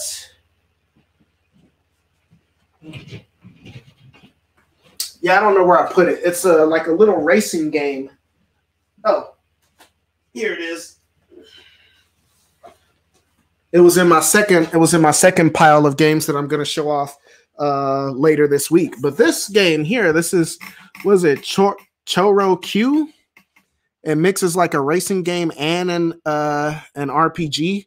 But if you notice there, it says Atlus, and this game was $12.99. So I'm like, I don't know anything about this game, but it's Atlus. You see Atlus, you buy Atlus because that's just one that slipped through the cracks. But one of these days that might be super expensive. And then if I want to try it, then you know, because like I said, it may not be that great a game, but for twelve ninety nine, uh, I feel like I'll probably get twelve ninety nine out of it. But if it gets up to 70, 80 bucks, then no, that's like a that Xbox 360 game, that Retribution Ride to Hell or whatever it is, that biker game that's notoriously terrible. I just found that complete uh, my local retro store for eight ninety nine. So eight ninety nine, I'll go ahead and buy it and add it to the collection just because I'm curious about it. But guarantee you that game gets super expensive in the future. And when it gets super expensive in the future, like why would you spend a hundred dollars or more for a game that's a huge buggy mess? Other than the fact that you know just for bragging rights, you know, to flex to have in your collection. But like, no, I don't want to spend the money on that. Simpsons got expensive because EA Yep. CTSM says I'm starting to set up my room as a gaming theme, so it looks cool right now, but I'm about to get more things for it. Yeah, man, like I said, just get it all a little bit by a little bit. I didn't get all this crap overnight. It definitely took a long time, and I'm still not happy with it, so I'm still going to be moving some things around. This table drives me nuts. It looks great. It's a nice big white table, and you got to have that for YouTube, right? You got to have like your white table and it's great for product reviews and i do a top down photography on it. I've, I've used it for some thumbnails already and it's great for that but man it wobbles like crazy. I got it for super cheap off facebook marketplace so i wasn't complaining but i don't know how i can like bolt down the the legs more so they don't move around. Worst case scenario though i could keep the top of this and get like uh some sit stand legs from IKEA and just bolt this to those legs. And then I can turn this into a you know sit stand desk like the black one I used to have the black sit stand desk I put upstairs uh, in my room. So I was going to turn that into a little area to make content from but I haven't got around to doing it yet. Uh, but that's in the future for that. So I've been slowly putting some things in there. I got my old school ring light that I was using until I got this new light. So I'll put that up there. Maybe or maybe I'll put it in this room because I'm also going to turn this room into a space uh, where I do more of like my photography, like camera gear stuff. Probably doing that next room. So, yep. So it's always it's always a work in progress. It's your game room, your office, any kind of workspace or play space. So, like I said, just get a little by little. I really wish I had Futurama. I do too. But again, I only heard that the game was only okay. So I'm not gonna spend the money for it. If I find it cheap, then yeah, I'll go ahead and cop it. But yeah, I'm not spending expensive. I'm not paying a high price for a game that's not good. You know, so I still love playing The Simpsons, Road Rage, uh, for the PS2. Yeah, yeah, absolutely. And that is uh, Road Rage is actually still cheap, but it's the other one that shot up in price. and I have them both. I, I luckily got them both with what was the other one called? It's called Hit and Run. Yeah. So Road Rage is still like a $10 PlayStation 2 game, but Hit and Run is shot back up to 50 bucks. So Hit and Run is expensive again. Uh, so glad that I scooped that up. Said I ain't watched TV in two years. It's YouTube, gaming, and work for me. Yeah, man. And like I said, I haven't like watched like cable television since I have no clue. It's been so long. But yeah, I literally most of the time I watch I'm watching YouTube. And you know, I'll watch Hulu or Netflix to grab my anime stuff or Crunchyroll, but yeah, it's mostly just YouTube. It's all I watch. J Chip says uh, Beastars is a really good anime. The CGI is so good. I thought it was 2D. If you like romantic comedies, I suggest Toradora. I haven't heard of Toradora. I'll check it out though. Choro Q looks interesting. It is, yeah, it does look interesting. There's a there's another game that's like it but it's with tanks. I think it's Seek and Destroy is the name of it. It's one of those games. It's not very expensive either. I, I, don't think Atlus made it, but you play as a tank, but you're the tank. Like you're not an operator of the tank. You're the actual machine, and you. It's kind of semi-open world. You'll drive through towns and forests and stuff, and this action RPG plays out like that. I want to grab that one too. Uh, Metal Jesus had talked about it some years back, and I can't rightly remember the name of it, so I'll have to go back through his PS2 hidden gems, I think, and figure that out because that is one that I I think it was on the hidden gems one, but that's definitely a game I want to grab. Um, let's see, can PS2 play different regions? Nah, uh, PlayStation 2 is not region free. The PlayStation 3 is region free though. So if you get you a fat, if you get because I believe if you get a fat uh, PS3 the uh, a backward a fully backwards compatible one like a Japanese one, I think that those will play Japanese and American games. So and the thing about that is like like my my PS3 is region free, so I can play Japanese and American games too. But I think the Japanese ones play PlayStation One and Two games.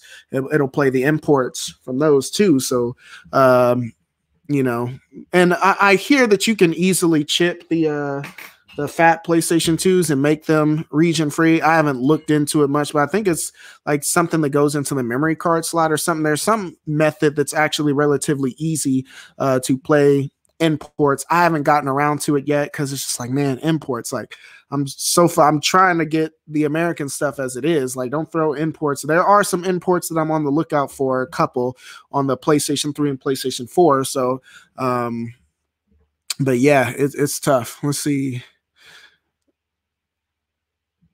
Yeah, J Chip says, unfortunately, no. I wish. Man, I wish.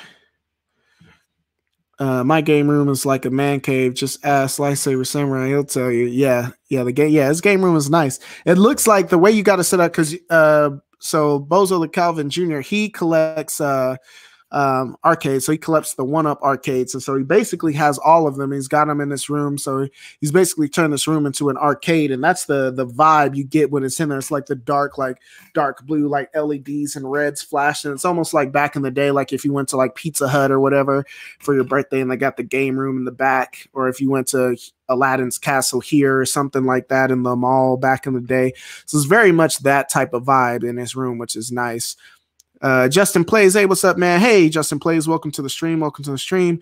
Wave says my desk is a piece of plywood on two filing cabinets. Absolutely, man. Yeah, the the filing cabinet method. I've seen a lot of YouTubers do that. Um, or what they'll do is they'll get like a nice like marble like countertop because you can go to IKEA and just buy the countertop and then they just boom set them on the two filing cabinets, which is nice because then you got the filing cabinets to put all your stuff in and you got the nice big like flat surface. So that is definitely a way to do it, and that's a really uh, cool thing to set up if you uh, if you get some good stuff for it.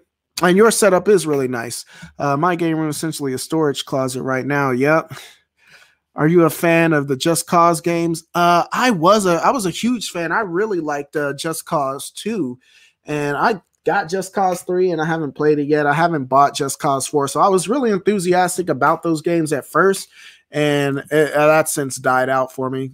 So um, yeah, I like the Just Cause games, but I just haven't got around to playing them in a long time. But Just Cause, I mean, they had super huge worlds, like the the graphics on it and the detail of the like the jungle and stuff. Like and even in the first game, like the first game, um, because I the first time I bought Just Cause, I bought Just Cause One on the original Xbox, and then when I got the 360 version, it was blew my mind how different the versions were and how how nice the game looked how big it was and uh just the freedom like I, I, really love like flying around and just up through the clouds and stuff and so uh yeah it, it was just a fun game to explore. Uh let's see. You get the test model or it's modded. Okay so it's the uh so it's the the fat PS3 test. So if you get the test version of the PS3, then you got you can play imports from PlayStation 1, 2, and 3, which is awesome. That you know, that literally unlocks like six consoles, you know, worth of video games for you to play in one unit, which is insane. That is insane. Let's see. Bozo says that Easy Gaming says that's how I started as a storage a year ago. I have a man cave just about completed. Said, yeah, you get the test model it's modded. Okay. Do you see MGR's most recent video, the one that didn't receive too well because of people' attitude toward the subject they were talking about? No, what what were they talking about? Just Cause was on the original Xbox. Yep, Just Cause was on the original Xbox. It was also on the PlayStation 2 they were late titles for both systems, but yep, there is an Xbox and a PlayStation 2 version of Just Cause. The PlayStation 2 version is pretty atrocious. The original Xbox version is actually okay. Uh, and I really enjoyed playing the OG Xbox version. But when I got the 360 version, which I don't think I have anymore, I think I ended up trading it off at some point and just never added it back to the collection. But I might as well. I, I do think I, that's a series that I want to have all the games in. Um, I just need the test my homie, get multiple hella. Yeah, man. If you can, and they're not crazy expensive. I mean, you know what I'm saying? Like, I think you can get a test console for like three, four hundred bucks, maybe five hundred bucks. But again, that's five hundred dollars. But that's six consoles, my dude. Like, you know what I'm saying? That's six libraries worth of games wrapped up into one unit. And the test units were built uh, they tend to be built better from what I understand because it was the units that they gave to um, video game companies to develop their games on and things like that. So uh, I hear that they're built better uh, than the consumer versions that we got. So I don't know if that's true or not, but how do I feel about the Wii U? I really like the Wii U that's part of the reason why I haven't bought a Switch yet. Because all the games that I wanted on the Switch, uh, like whether it be Mario Kart or Smash Brothers or Breath of the Wild or whatever, they were all on the Wii U. And then for all the other games, most of those had a PlayStation 4 version. So I felt like between the Wii U and the PlayStation 4, I wasn't missing out on anything with the Switch. What I missed, I missed uh, Mario Odyssey. I think like okay, like so I missed Mario Odyssey, but I'm sure it was a great game. I'm sure the game wasn't trash, but you know, like you know, um, there's a ton of great games I've missed, I'm sure. So uh, I really do like the Wii U, and I like the online experience on the Wii U uh, as far as like their virtual shop, uh, the eShop, and all of that. From what I hear, that's pretty janky on the Switch. Um, so yeah, yeah, I, I enjoy my Wii U a lot. Uh, let's see the question asked was about getting industry about the about gaming industry drama, but actually the drama they were talking about was business not doing right by the customer. I don't see the problem in that. So his business is not doing right by the customer. I mean, what's how do they get backlash for that? Like the gaming industry has been trash, guys. So dinner's ready and it looks fantastic. I'm about to show this off. So Oh, and I get the chopsticks. All right, check this out. So, boom. I don't know how well y'all can see that, but oh, is this the asparagus he was talking about? I'm about to try it. About to do it live. Don't use the end first. Huh? What? Eat the top first. You eat the top first? Yeah, because the end, I don't know if I cut off enough. Oh, okay. Sometimes the ends are a little tough. Oh. What is this sauce right now? but I worked hard on it. I can tell. It's delicious. Thank you, my dear. Look at this, y'all. I got and this tofu is like crispy chicken nuggets, but better. Mm, that's delicious. So, excuse me because for the rest of this uh, stream, I'm definitely going to be eating.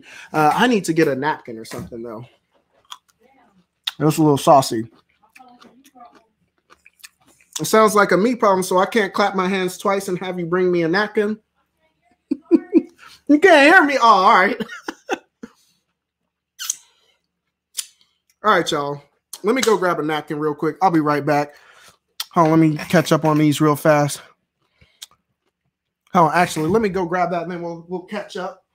Catch up, catch up. Excuse me, Conan. Conan, don't eat my food, bro.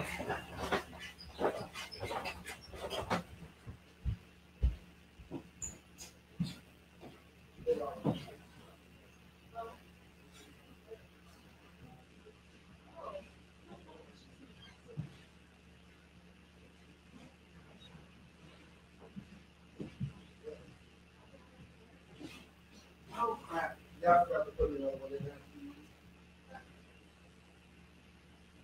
did put one.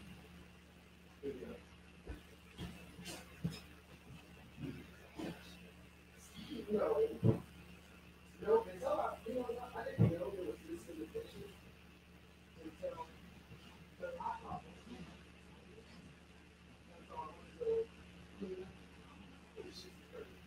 yeah, I thought they were in there, but uh, they had to do it because it's not on the dishes. I don't know what's You're not gonna talk about it.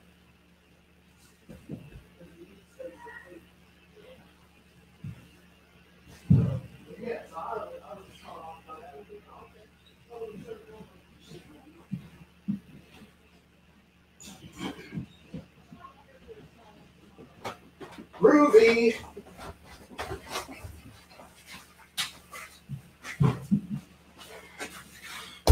Sorry about that, guys. We're back. We're back.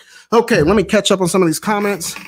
And I got like three more games. Yeah, man, spoiled by dinner. The dinner is fire. And we've been trying to eat healthy. We were eating out a lot lately. And like our diets have been garbage. So so okay, I went to the store and bought a bunch of groceries so she could cook, and then I got some stuff to cook this week, and so we said, okay, we're just gonna cook and try to save some money and try to continue to lose weight for the summer coming up, so I can have a hot boy summer. Okay. So anyway, let me catch up on these here.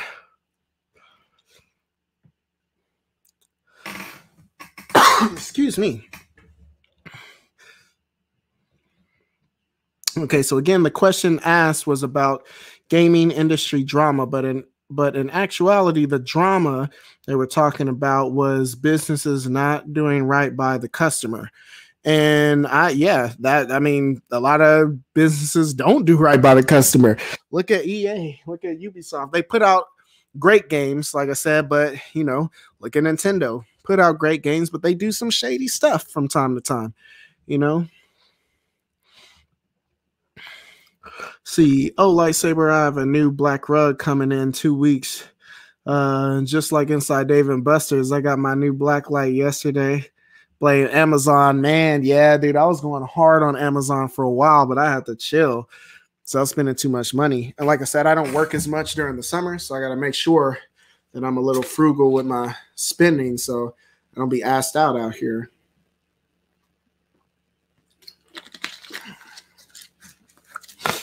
I mean, there's summer school and stuff, and then I, yeah, I got some more photography gigs and stuff already lined up, but I'm gonna make sure that I'm not blowing all my cash. Like I said it sucked last year because we couldn't do su- summer school and stuff because of COVID. Luckily, I, you know, I uh I um was eligible for like the PPP loan, I think, and then uh some unemployment and stuff like that. So I didn't starve to death last summer, which is nice because I actually didn't work that much either. So that I think that attributed to a lot of my YouTube growth last year because I was home and I could focus more on my YouTube because I spent so much time at home. So because I was free to do that, which was very nice. One of these days, I will be free to do YouTube full time, which would be awesome. But I don't know. I still I feel like probably five more years before I get to that point at least. So let's see. A lot of people attitude in the video could basically be boiled down to I don't really care. I just want my game. I see. I see. And you got to be careful with that because being indifferent like that is just like, I don't know. Like they get enough, you know, when you get to that point as a YouTuber, you get to that highest point, there's always accusations of, oh, this big company is paying you off, or that big company is paying you off, and da da da da da. So yeah, if if it if you don't sound authentic when you're talking about stuff like that, then that's just gonna fuel more uh, fire about that. A lot of people was feeling weird that he had collabed with Destiny FOMO too, and it's just like I don't know, whatever. Like I don't know. A lot of people be pressed though. Uh, let's see. Wow, that looks yeah, it was. Yeah, and it tastes fire too. Getting spoiled by dinner, absolutely. If Sony told you that they'd be willing to bring back one franchise that hasn't been around in a while, what would you pick? Man, so Siphon Filter is a good contender to that because I love the Siphon Filter series. Um, but if I had to pick one, man, I can only have one. I would probably say the Tenchu series. I love Tenchu. I love the storyline of Tenchu. I love the gameplay. Again, Tenchu was just one of those games that made you feel like you were in the shoes of you know what you were planning. Like that really you felt like you were a ninja in that. And so Tenchu would definitely be a game that I would love to see return. Like I said, we haven't seen it since 2008's uh, Tenchu Z, uh, that I can think of. But again, Tenchu Z suffered from the same issues that Syphon Filter the Omega Strain did, whereas who didn't play as the series protagonist. The series protagonist had moved on to like an administrative role, and you were just some newbie rando, like out to do his bidding and all of that, your own new adventure, which, you know, isn't awful, but like, I don't know. Like, I wanted the saga of Rikimaru and Ayame to continue. So it was just weird, but I should have took a picture of this. So yeah, Tenchu would probably be uh, probably be my pick. And there are other franchises too. I would love to see a new Fear Effect game. Uh, Dino Crisis definitely needs to come back.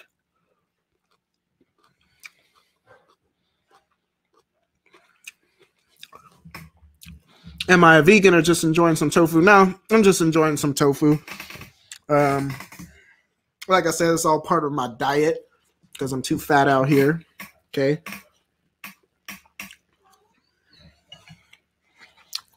And she makes really good tofu too. Like her tofu be tasting like some real meat out here. So I'm with that. Ooh, he picked uh, Sly Cooper. That's a good pick. I played myself. That's one of the PlayStation 3 games that I don't own. Is the Sly Cooper collection. And that got expensive like the Ratchet and Clank one did. I think the Jak and Daxter one is still reasonably priced. So I definitely need to get that within the next week or so because that won't be the case very soon.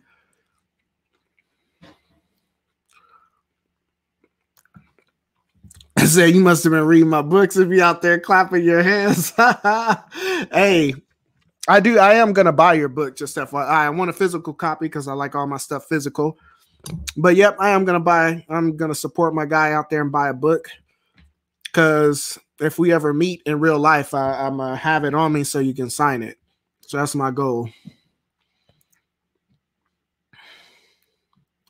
Okay, says I worded that a bit wrong. Some of Metal Jesus Rock's audience pointed out their attitude towards these companies because it seemed like they didn't care based on the answers they gave in the video.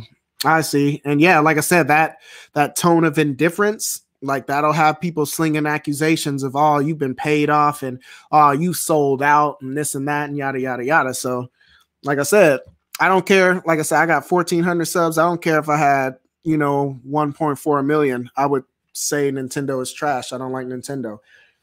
And like I said, I don't necessarily hate everything about Nintendo. They have some good games, but they Nintendo just don't do it for me. Like I said, they be on some weird shady shit and You know, a lot of the Twitch uh, uh, again, like a lot of the the Nintendo YouTubers and a lot of the Twitch or the Switch YouTubers, they just seem so just so like fake. Like they just seem really, you know, not authentic, like in their enthusiasm for Nintendo. Even if it's just like Nintendo's doing some like super whack shit, then they'll be like defending Nintendo and saying it's oh, it's not so bad. Like you know it's that bad, bro. Like, come on. So those are people that's making oh, you part of the you you know, you got that you had that Wood Hawker hookup where you, you know, the Nintendo ambassador program and this and that. And then Wood played himself by making that video with the mods and stuff. Nintendo was like, nope. so but yeah, yeah, I just don't fool with Nintendo like that.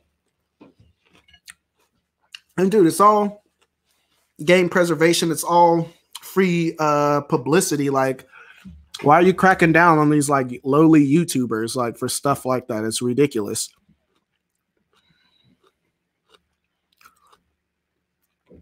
And yeah, it says I have the original trilogy of Sly Cooper on the PS2 and that's another question you guys got to ask yourself like is it really that different?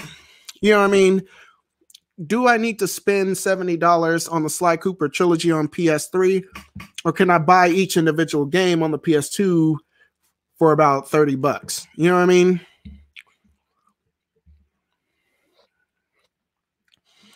Raising Game's gonna call his mother-in-law and be back. All right, we'll see you in a bit. I, I, I might not be here when you get back. I might wrap this up soon. Of course, I always say that, and then I'll be here for like three hours straight. But how long we been going? We're going for an hour and a half. I'm gonna try to cut it at two hours.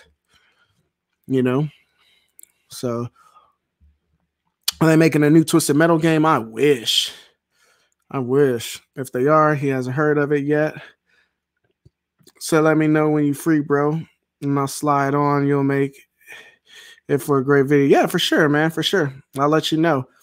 Uh, I will say though, a lot of these companies and their practices suck. But if people are going to keep buying this BS, then who's to blame? Exactly. I mean, people will only do what you let them get away with. Like, you know, so I mean, that's the only reason why these people are doing it because they're allowed to do it. Like, you know, so it's tough.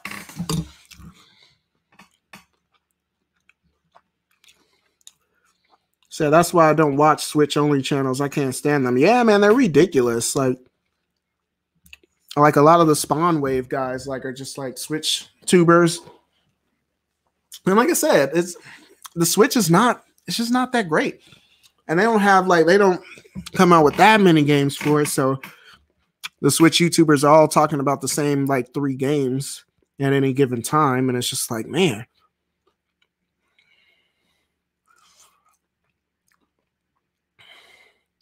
sometimes you can tell when a creator is burnt out on content for a specific company. And that's another thing. Like, man, I know you don't love Nintendo stuff so much that you can only talk about Nintendo because there's not enough variety there for me to, there's not enough variety for me and one like developer for me to just talk about that one developer or even that one console or whatever the case. There's too much out there for me to sit there and do that and pretend I like it.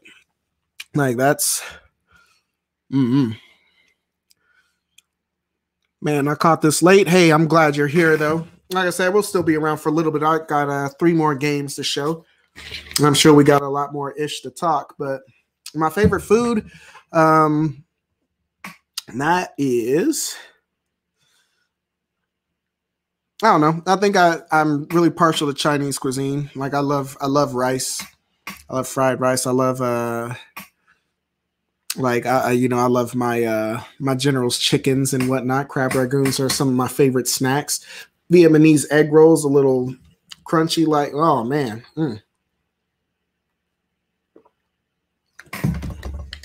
I gotta chill with that though, because like I said, I gotta be watching my health out here. I keep forgetting that I'm old. Let's see, what am I missing out here? What else am I missing? True, you got to vote with your wallet. Absolutely. Absolutely. And when it comes to my wallet, okay. When it comes to my wallet, that's how I'm voting. All right. That's how I'm voting when it comes to my wallet. So that's right. Actually, make sure, okay, make sure that didn't slip between the couch. I'll be looking for that tomorrow. But uh yeah, like let's see. The problem is the casual market. They don't understand any of the extra stuff and just buy the game. Yeah. And like I said, I mean, if if all they're catering to is the casual market, I mean that's cool, I guess. If the ca- the casual market is happy with the way things are, so I mean, you know, I don't know. I you know that's why whenever a company decides to give us extra or to do more or to go above and beyond, like we definitely got to support that any chance we get, because that'll put everybody else on notice that hey, like oh, who knew if you gave people what they asked for and did right by them that they would treat you well and buy your stuff. Let's see. When they get bored, eShop videos become content. That's true. That's true. Either they get super bored or there's nothing going on. And Nintendo's be like, oh, yeah, here's some eShop games you need to take a look at and whatever. And I mean, that's cool. Like a lot of those eShop are like indie developers and whatnot and it's cool to give them some shine, but it's like, man, you really don't care about what's going on at eShop. You just ain't got else to talk about. And you definitely can't talk about PlayStation or Xbox if you want to stay in the Nintendo ambassador program. So it's like, yeah, man, like that's that's for me, I can't be in a position where I can't make the kind of content I want to make.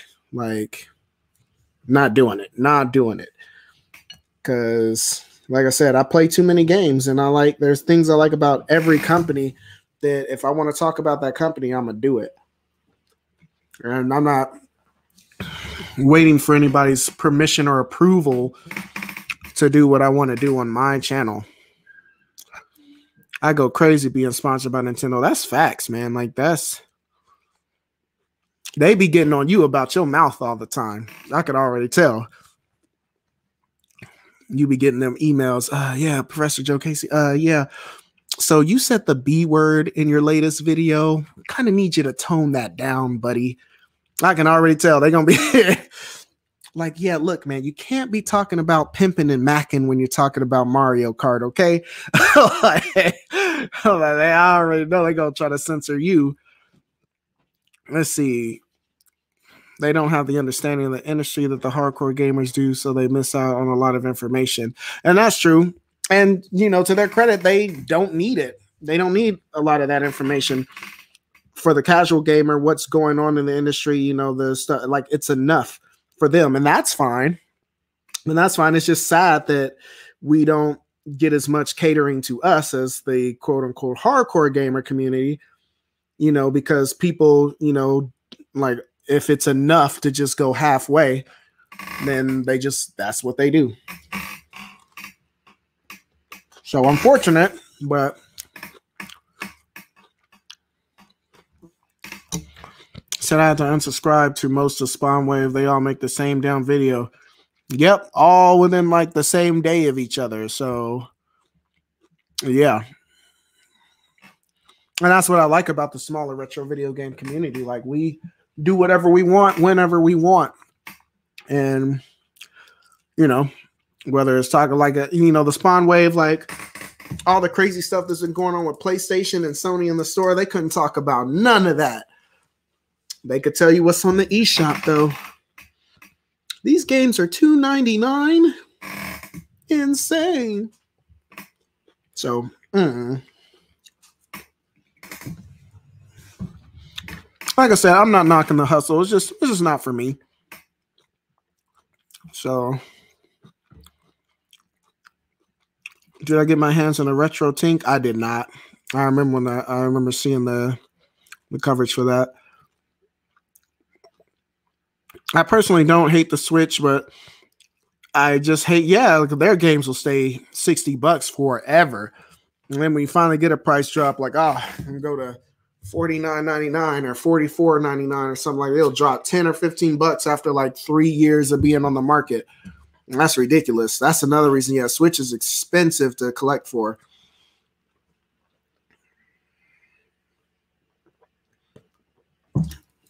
And again, it's like the same way I feel towards even like PlayStation and Microsoft in that regard, because I'm not going to pay more money for the especially like multi-platform releases. Like, why would I pay freaking forty dollars or 30 40 dollars or fifty dollars on the Switch for a version of Doom when I can get the better playing version of it on the Xbox One or PS4 for like twenty dollars? I'm not gonna do that's not gonna happen. That's why I'm telling people like this PlayStation 3 stuff. Yes, these games are going up crazy in price, but the Xbox 360 got many of these games for a fraction of the for a fraction of the cost. And in some cases, you know, I'm a you know, I'm a PlayStation head for sure, but credit where credit's due, the Xbox 360 had the better multiplayer uh ports in the 7th generation and that's that's simply the truth. The games ran and uh better on the Xbox 360. That being said, Xbox 360's controller is inferior to the DualShock 3, in my opinion, uh, for most types of games. Like first person shooters, I'm playing them on the 360 all day. I love the triggers for that. I love the off center joysticks, and I think that, that the analog sticks, rather, and, and first person shooters feel fantastic on the Xbox 360. Um, I might even give them the slight edge in racing games as well. But if it comes to like uh like 3D platformers, 3D like action games, the hack and slash games, the fighting games. I'm playing all those on the DualShock 3. So I don't know.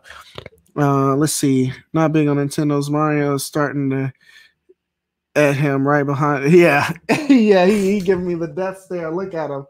Like I said, I don't hate Nintendo, but I kind of hate Nintendo. Is all I'm saying. And see, the eShop is embarrassing. So many indie games are the focus, and they're all like, like oh, it's like twin stick shooters all day. Let me show you this twin stick shooter, a very basic looking platform game, and it's like, no, I'm I'm good actually. I'm all right.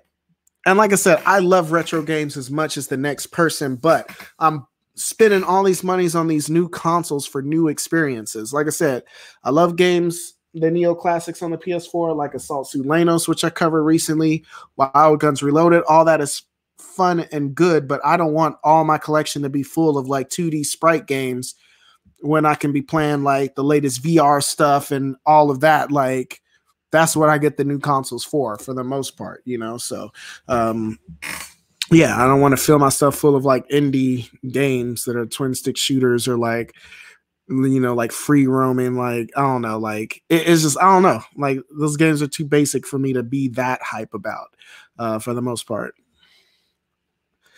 Let's see. I was all in on the 360 during the seventh generation. Absolutely, the set the the Xbox 360 it wasn't the more powerful system. The the cell processor in the PlayStation 3 technically was supposed to be eh, the more powerful hardware, but the simplicity of Microsoft's architecture, like the developers were able to do way more with it and push it and get way more out of it. So I don't know. Says Switch is a bigger hustle than the the Dodge coin. Yeah, like or the doggy coin, whatever it's called. Yeah, man, they yeah, Nintendo's getting hella rich off of that. Like, but I don't know, man. They not getting my money, at least not for a little while longer.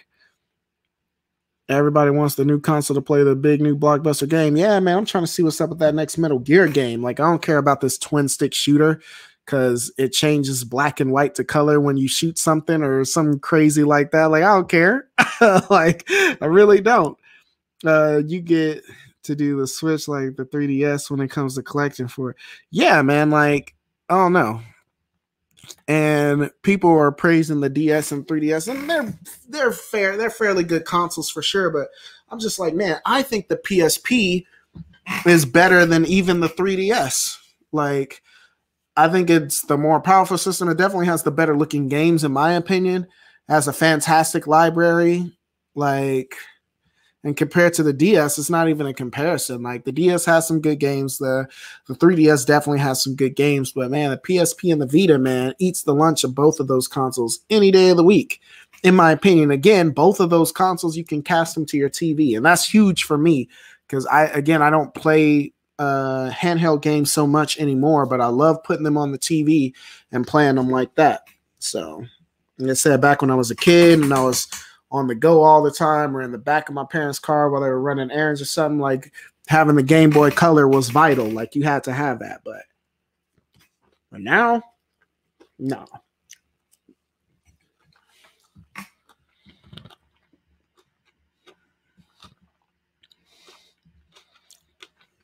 Yeah, the Switch does have some good games. He, um, yeah, uh, Arms, uh, Astral Chain. Astral Chain looked really cool, actually.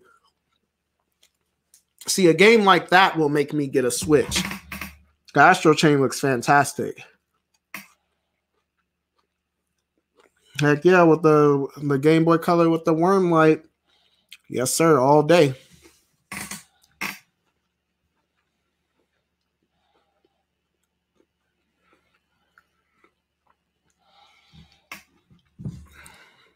Let's see. I plan on collecting Switch games after the next Nintendo releases on sales. For example, outside the first party, any Switch games, 10 bucks and under, maybe. Join the Switch side lightsaber. Nah, I'm cool on that. like I said, like I said, I probably will at some point. I have a box. I have a Switch box. I don't know where I put it. I had a Switch box. I don't know where it went my uh, my girlfriend's brother, he bought a Switch, so I took his box. Oh no, I had a Switch box. Maybe I don't anymore. it was around here somewhere, but I had it. All right, man. Let me wind down on these last few games because we're at an hour and 50 minutes. I'm gonna try to cut it off around the two hour mark because it's 8:30 where I'm at right now.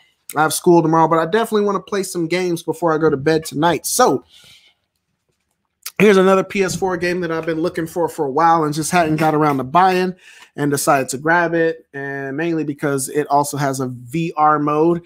That is Wipeout the Omega Collection. And this is one that I don't see on shelves anymore in my neck of the woods. So I wanted to get it because it has um it has like a remaster version of Wipeout HD, which was uh digital only.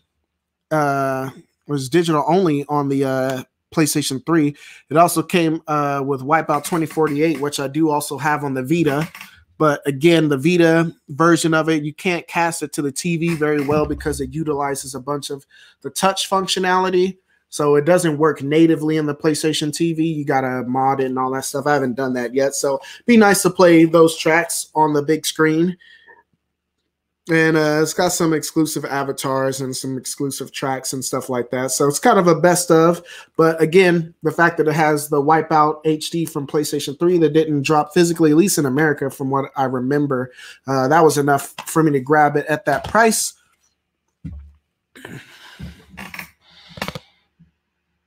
Yeah, the Wii U, the Wii U doesn't have a large collection, but the quality of that collection is very good. Like the ratio, like it's definitely not like the original Wii, where there was a ton of games that came out for the Wii, but most of them were garbage.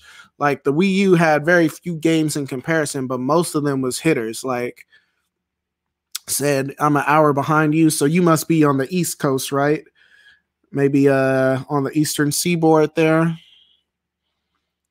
So yeah, let's see. Gonna hit up some Ghost of Tsushima after this. That's that's a game I definitely still need to get. I haven't grabbed it yet, but like I said, those games are going down in price, so I'll have it soon enough. Garrett says retro games forever. Let's see, I'm feeling I or I enjoy collecting for the Wii U. Okay, yep, I already answered that for sure. For sure, it is. But as the professor was telling y'all, a lot of them games is jumping up in price for the Wii U, which is crazy because a lot of them again were re-released on Switch, but there were some that never got a re-release. You know, if Devil's Third got re-released for the Switch, the Wii U version wouldn't be as expensive as it is right now. I picked up some uh it's a kart racing game on the Wii. It's like a Hello Kitty kart racing game. It's this one right here.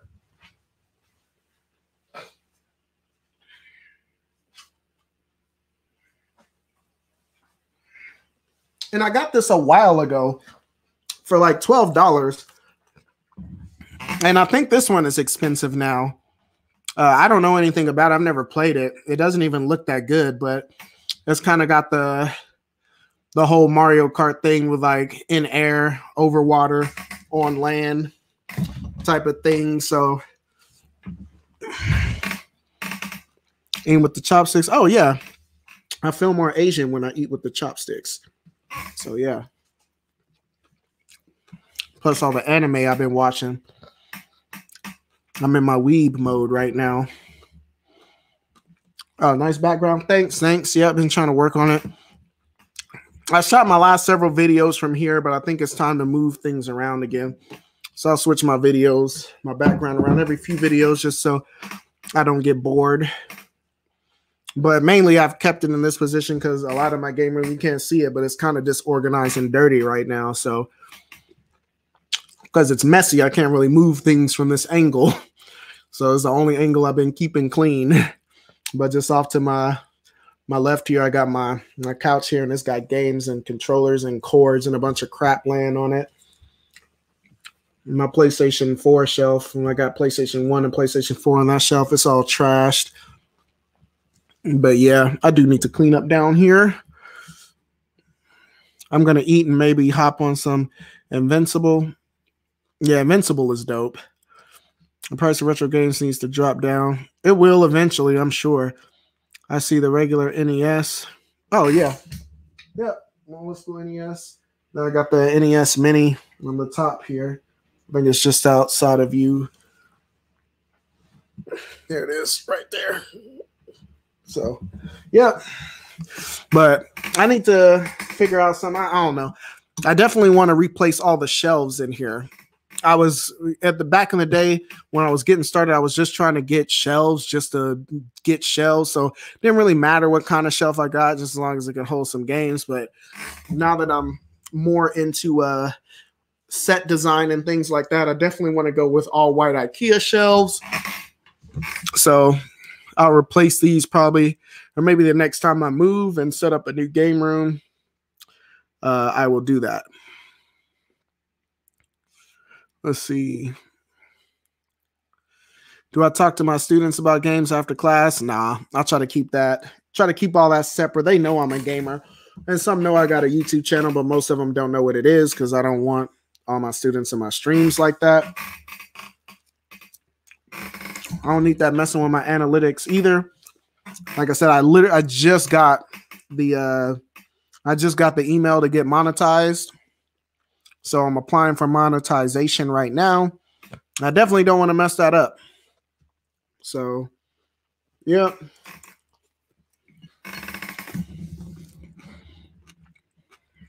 So, so I'm a teacher. Yeah. I'm more like an, a co-teacher, or in some places they call them paras. But I teach uh, sixth grade science. Although I might switch next year, like switch up the grade, switch up the subject.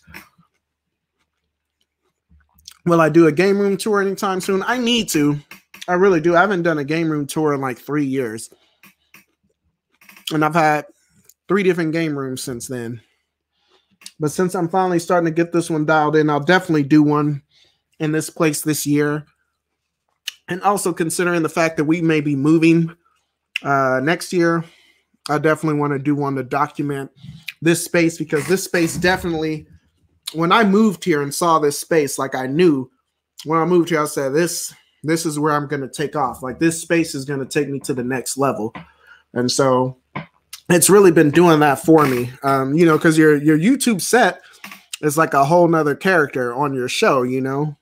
And so yeah, seeing this uh place evolve over the last three years, especially has been I've been putting a lot into this over the last just 2020 alone. Like I added a bunch of stuff in here. So it's been really cool. So definitely want to pay homage and do a game room tour. Uh, I've been seeing a lot of cool game room tours lately. Retro Rivals did a really cool game room tour. Pac Man Case did a fantastic game room tour. So I definitely want to follow suit and do that at some point. And I'll definitely do that hopefully this summer. So um yeah, my preschool days, my teacher brought in his NES. We was playing it before lunch. Yeah. I'm doing a house tour on Patreon. Oh, right on.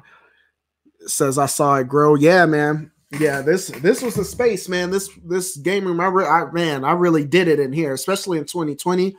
Um, again, because at the start of 2020, I had like 300 subscribers. It's like 320, 325, something like that. And so just to from that point to be, you know, have 1100 subscribers since then. Like that's insane. So whether you guys were have been with me or whether you guys were my original 52, uh, I say my original 52 because on my first year on YouTube, I have 52 subscribers by the end of one year on YouTube. So all those subscribers, I call them my original 52. So whether you're one of my original 52 or you just joined me 10 minutes ago, uh, thank you guys. Um, you know, thank you for the ride. It's been crazy.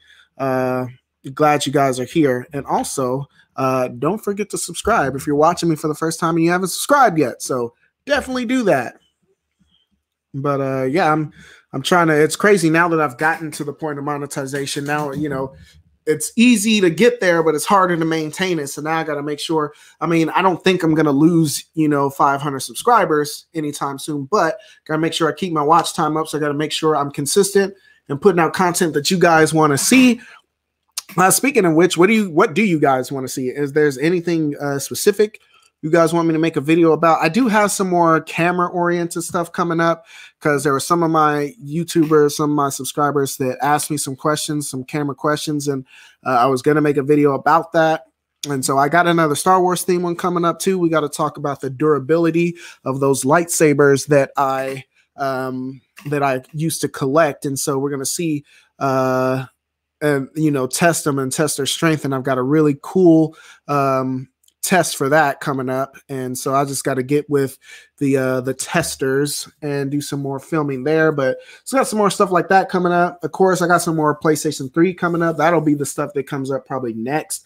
Um, because I'm gonna dive in and play some more PlayStation games tonight. So I'll probably uh, drop another PlayStation 3 Hidden Gems video because there's still a lot of games that I don't think anybody's heard of that you might want to get before it goes up in price. So um, yeah, we definitely got to talk about that. Um, speaking of Star Wars, I played a Star Wars game this past Friday. Oh, which one was that? Think about doing a vid on my PlayStation 2 game collection. Yeah, yeah. I remember he had Mario Brothers one three. Oh, talking about your teacher had the Wheel of Fortune and Jeopardy. Jeopardy would sound awful to play on the NES because uh, you I imagine you have to spell things out and you would probably have to spell them correctly. That sounds terrible.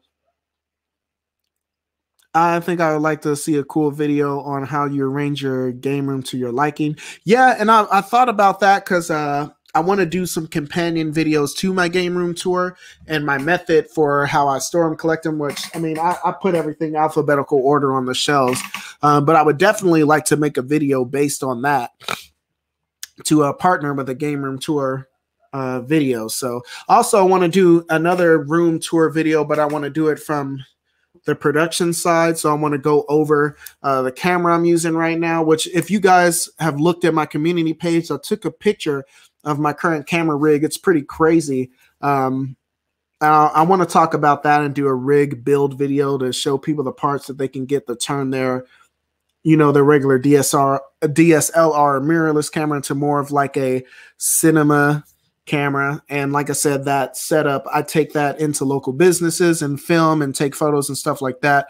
And there's a bunch of different reasons why I wanted to rig my camera out. And the main reason why is because I wanted to buy a Blackmagic camera this year. I wanted to buy like uh, 2020 and 2021 has been the era of cinema cameras. And there's so many cinema cameras that you can buy that are relatively cheap. Like you can get, I can get a, a Canon C100 Mark II for like two grand used right now. The the Blackmagic, the the Cinema 4K, which goes up to 4K 60 frames a second, and a ProRes RAW like that uh, you can buy that for like thirteen hundred bucks for the body.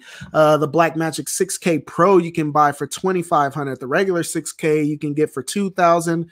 Uh, Sony just released the FX3 for thirty five hundred. Like there's a lot of good like movie quality cameras that you can buy for under five thousand dollars. And so uh, I was wanting to get into that this year, but I didn't really have the money for it, so instead, I thought my they, I'm shooting on the Canon 90D, and it has a really good. Uh, it has a, a 4K HQ mode. It has uh, 120 frames a second at full HD.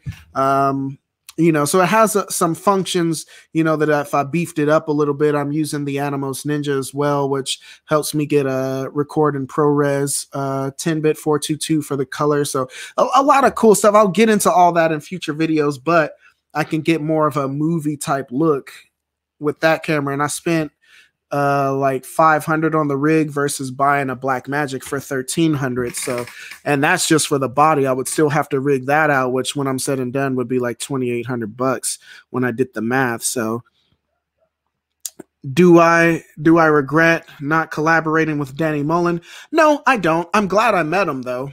I'm glad i met him. And that for me was uh was very like that was a very eye-opening experience even just to to physically meet someone who's doing it on that high a level like he does youtube full-time for a living he acts like you know a troll and kind of like a jackass in his videos but i can tell meeting him in person he's not exactly who he portrays himself to be on YouTube. On YouTube, he's kind of like the funny kind of frat guy, this and that. But Danny Mullen is a he's an intelligent character, and he uh, thinks about things very analytically. Like he he's definitely a lot smarter than he leads on. And and that's totally okay. Like I, and for that it was good to meet somebody like that because i'm like this is a pro youtuber a pro content creator and influencer.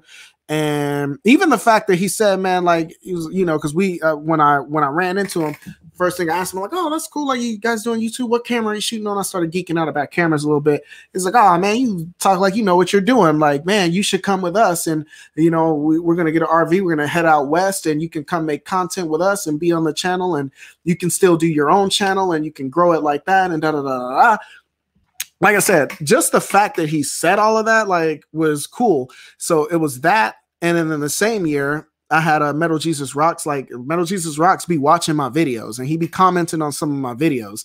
Like that's super cool. Like so between that, like I here's two very very high level YouTubers giving me acknowledgement of any kind. Like it's fantastic. So for me, that was enough for me to really try to focus on YouTube in 2020, really try to be more professional and up my production and really invest back into my craft. And, you know, I watched a vi- bunch of videos and did a lot of tests and learned a lot, trained myself on how to use. Because, like I said, all this stuff, you watch my videos from three years ago, like I didn't have cameras, I didn't have lights and I, sound, I didn't know how to do three point lighting and things like that. Like all that stuff I had to learn.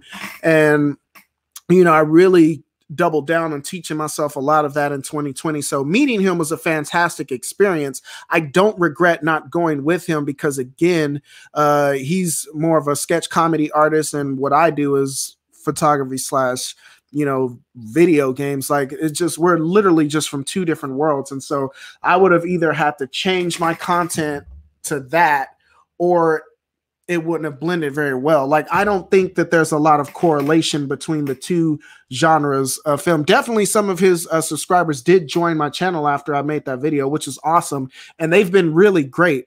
Uh, a few of them tried to criticize me in that video and try to claim that I was just, you know, snowflaking or I was just too insensitive to his kind of brand of shock comedy but it's like bro like i grew up in the i grew up in the 80s and 90s like you know what i mean? Like i get shocked for breakfast like you know politically incorrect like i grew up you know on toxic masculinity and rape culture like like it's fine like it wasn't so much that it was just simply that I just don't make that kind of content. I make video game videos. So that has nothing to do with sketch comedy and pulling pranks on people and, you know, stuff like that. So, you know, so he probably would have just found it lame to hang out with me after a while. But again, I'm super glad I met him. He was a super nice guy.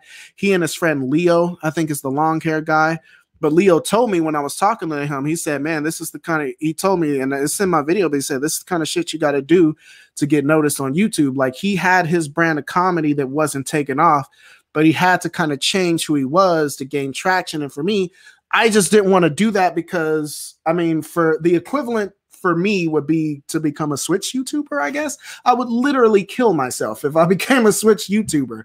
So if you guys see me talking about Switch and hey guys, here's the new eShop videos, tell me in the comments to kill myself. Please remind me that I need to do that because like I don't want to have to do the compromise to be successful. I'll be successful because I won't give up. And I tell a lot of people that all the time. Like, if you want to be successful on YouTube, as long as you don't give up, you win. You know I mean? The only way you can fail at this is if you stop doing it. So, I mean, that's that's just the the long and short of it. But I'm super happy. I met Danny Mullen. I thank him all the time. I still follow his content and all that stuff and uh, comment on his videos from time to time. Super good dude.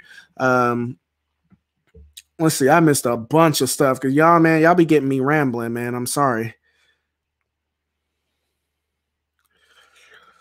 Let's see. Damn, I done missed like 30 comments. Hold on. Hold on. I'm catching up, guys. I promise. So he's doing a house tour on Patreon. So if y'all get on the if y'all get on the Professor Patreon, which I I want to start a Patreon this year as well, but I don't know what I'm gonna do on it though. But I would definitely like to get into that, so I can make the anti e beggars mad. Which I love to. Man, they're such a joke. like their whole community is trash. Like I don't know. Like guys, like take my word of advice, man. Tr- whatever you guys are passionate about in life, try to get paid for it because if you that's that's how you work at a career where you don't feel like you're at work. You know somebody who's like a pro basketball player all you do is eat sleep and breathe basketball. Like basketball is like life to you. That's what got you out of the main streets or whatever what put you through college what you're super happy and passionate about what you want to do more than anything else.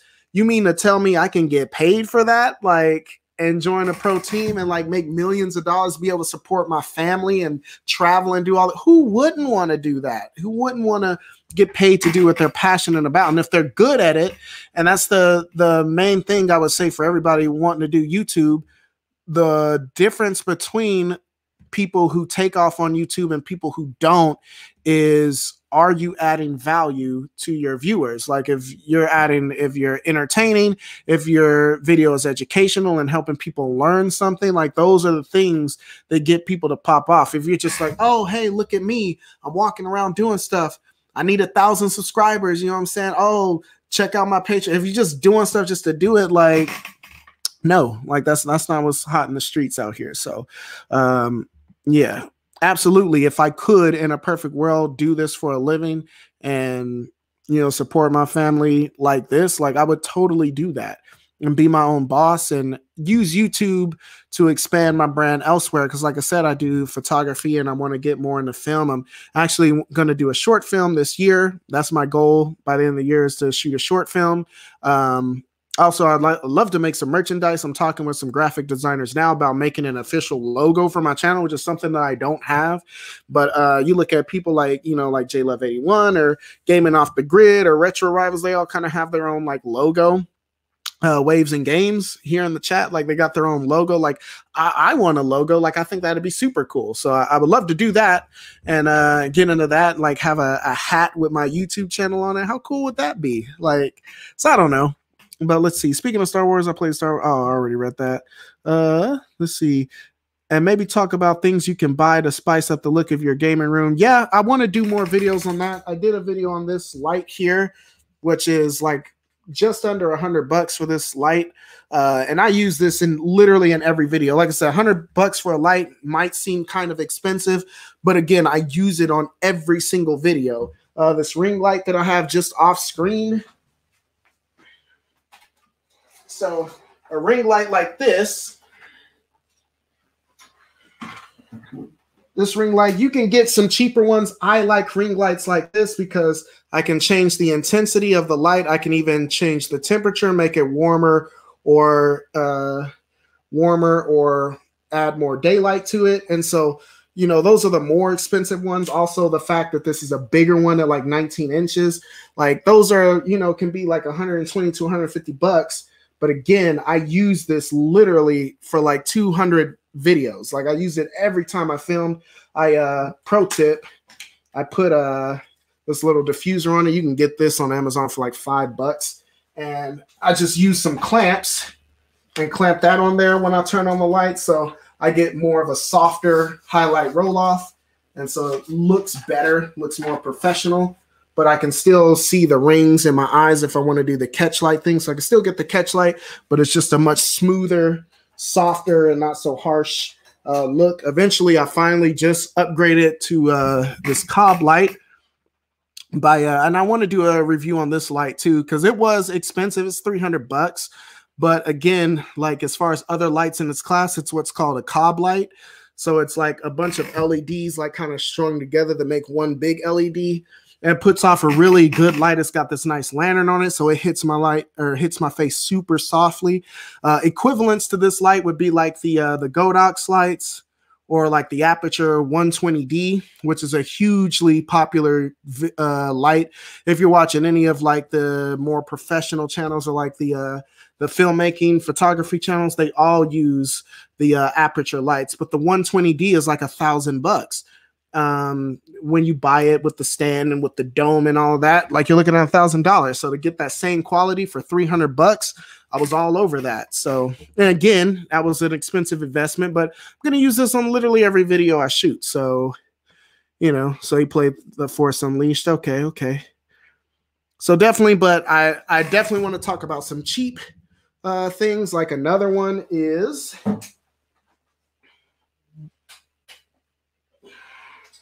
another one is this microphone here.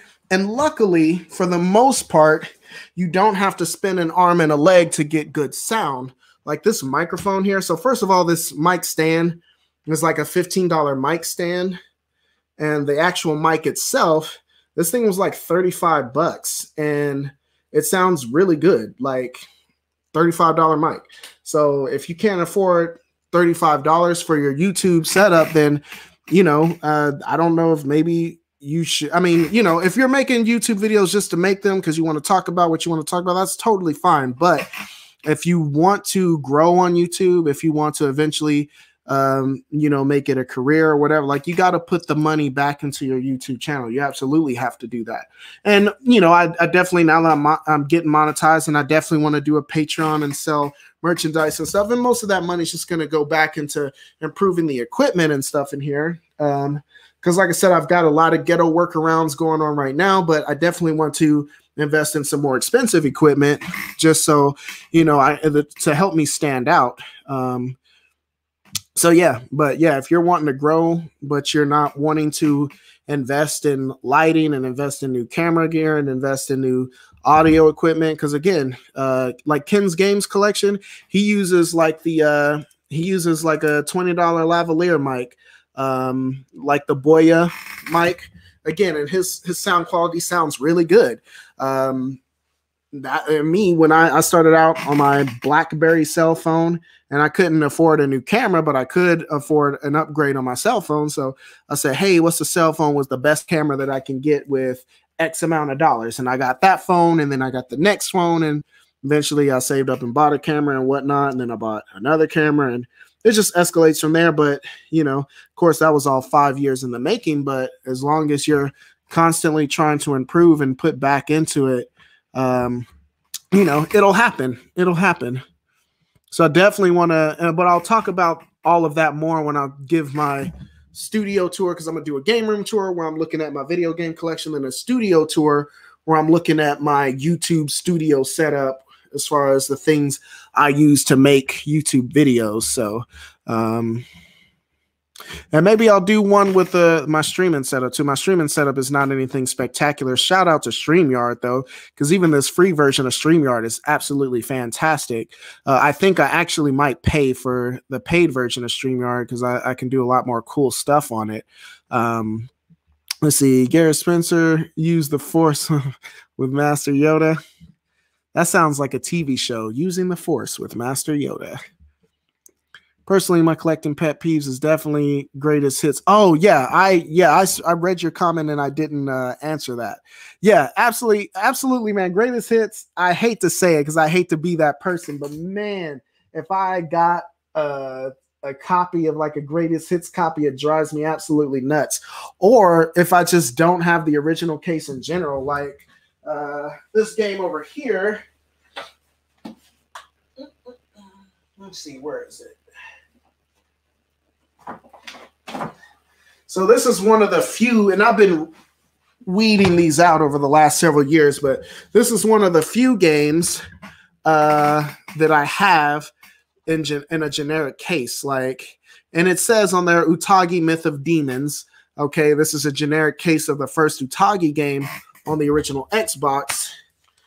Inside of it, though, is actually Otogi 2 Immortal Warriors. This game is super expensive now, so it's been hard for me to buy um, to buy the case because I would like to. So I'll probably end up selling this used and use the money from that towards a clean copy, like a complete copy. So because I think uh complete in box, this game is like a hundred bucks, but used, I think I can get almost half for that. So I could get Otogi 2 complete for like 50, 60 bucks if I do that route.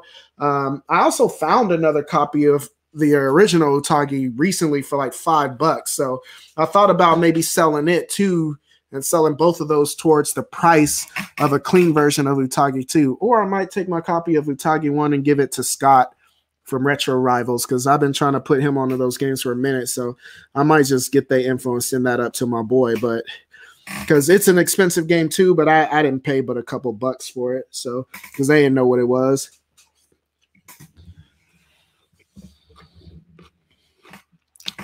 But J Chip, I definitely, I definitely share that pet peeve. I hate, hate, hate generic cases and uh greatest hits cases.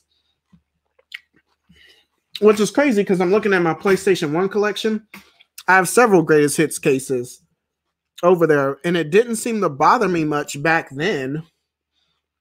But uh now it's like, I don't know. Uh, I think it's messing with just messing with the uniformity on the shelf. Um, Let's see. Do I have Def Jam Vendetta Fight for New York on PS2? Yes, I do. That game just hit 200 bucks. But uh yeah, I got it somewhere. Let's see.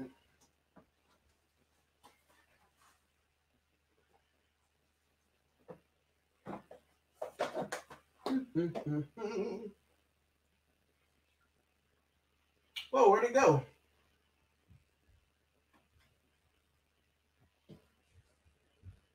Okay.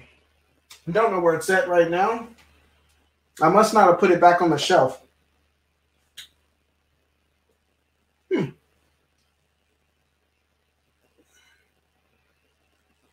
Yeah, it's around here somewhere. Not going to look for it, but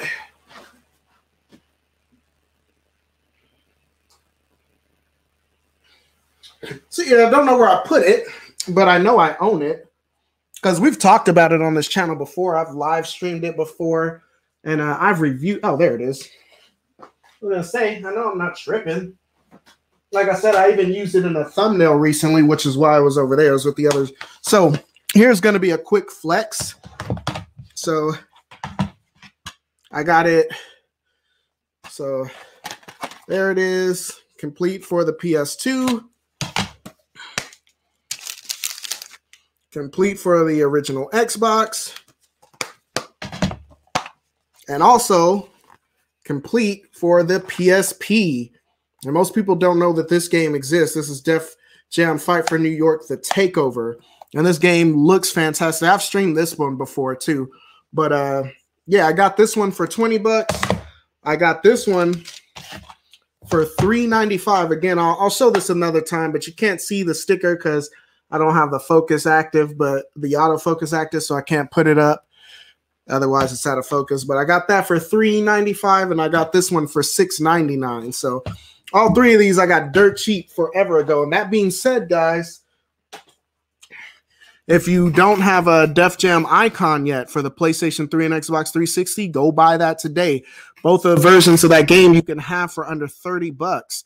And uh it's not the greatest. It's definitely Icon is definitely the weakest in the series, which is why I would be ashamed to pay a hundred bucks for that game, you know, a year from now. So definitely go ahead and buy them cheap so you can have the whole set in your collection. And uh yeah, don't play yourself. So you still have the first one. Let's see. See right now. Sorry, I was trying to catch up here. Again, man, I'll be ranting out here. Any Vita games I'm looking for? Uh, yeah, I can't think of them right now, but I'm I'm always looking for Vita games in general. Uh, right now, I have about 30 games in my Vita collection, which is definitely not enough. I definitely need more. I do want to go back. Oh, I'm about to. Excuse me. I felt the sneeze coming, but it wouldn't come. So I definitely want to go back and get the uh, Danganronpa games, uh, and just like a bunch of like the Vita has a bunch of like kind of like anime style like RPGs and action RPGs and a lot of quirky games on the Vita um, that I would just like to get just cuz. So, absolutely. Let's see.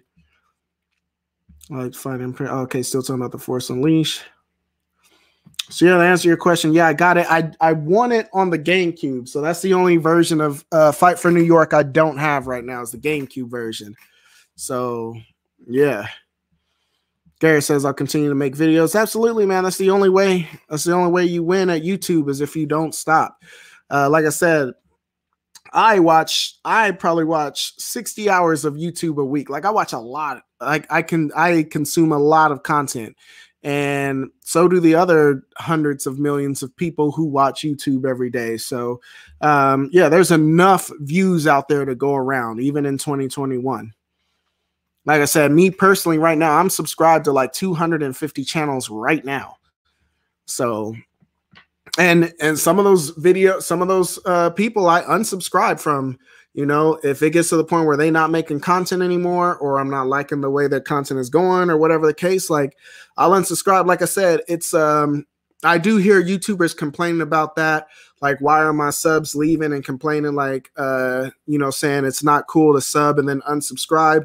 I disagree with that. Um, like I said, it's easy to get the subscribers, but it's your job to keep them. So if you're not doing what you're supposed to be doing, if you're not consistent enough for them, if your content is going in a different direction, then they might unsubscribe from you. And that's okay.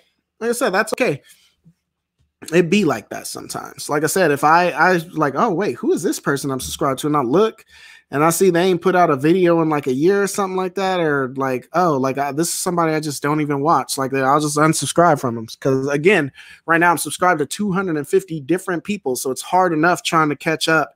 I know y'all be putting out videos all the time that I'll be missing simply because it's just too many, and that's okay.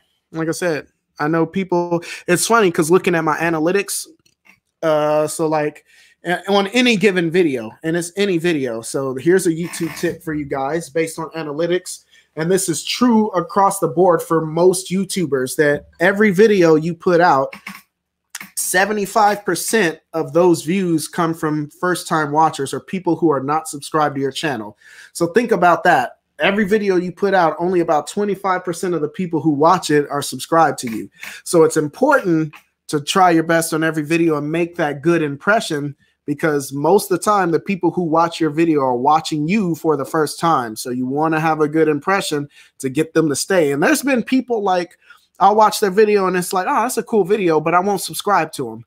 And then they'll come out with another video. It's like I gotta watch a few videos from them, and then I'll say, oh well, since I'm watching all this person's videos, I might as well subscribe, type of thing, you know. And so that happens a lot with people that I've subscribed to. Like I'll watch their video, I'm like, oh, that's cool, that's cute. Then I'll watch another one like, dang, that one's pretty good too. And then like third or fourth one, I'm like, I'll go ahead and subscribe. So it's true. Like most people who watch your videos aren't even subscribed to you. That's crazy. I my jaw dropped to the floor when I seen that. I'm like, for real? Because one of my videos recently, I put out, it said like uh 1200 views, and I'm like, oh, that's really good for me for like the first three weeks. And right now I got like 1,400 subscribers. So I'm like, oh man, almost all my subscribers watch my video. And then I looked at the analytics, like 25% of them. So maybe like two or 300 of them actually watched it. I'm like, oh, snaps. So, but like I said, it's like that for almost every video for almost every creator, which is interesting. Uh, that's just the way people consume content, I guess.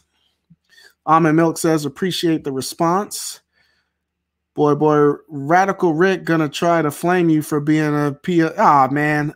I yeah, Radical Rick can eat a radical dick. Okay, so I shouldn't say that. uh, but that's for real, man. Like, look, man.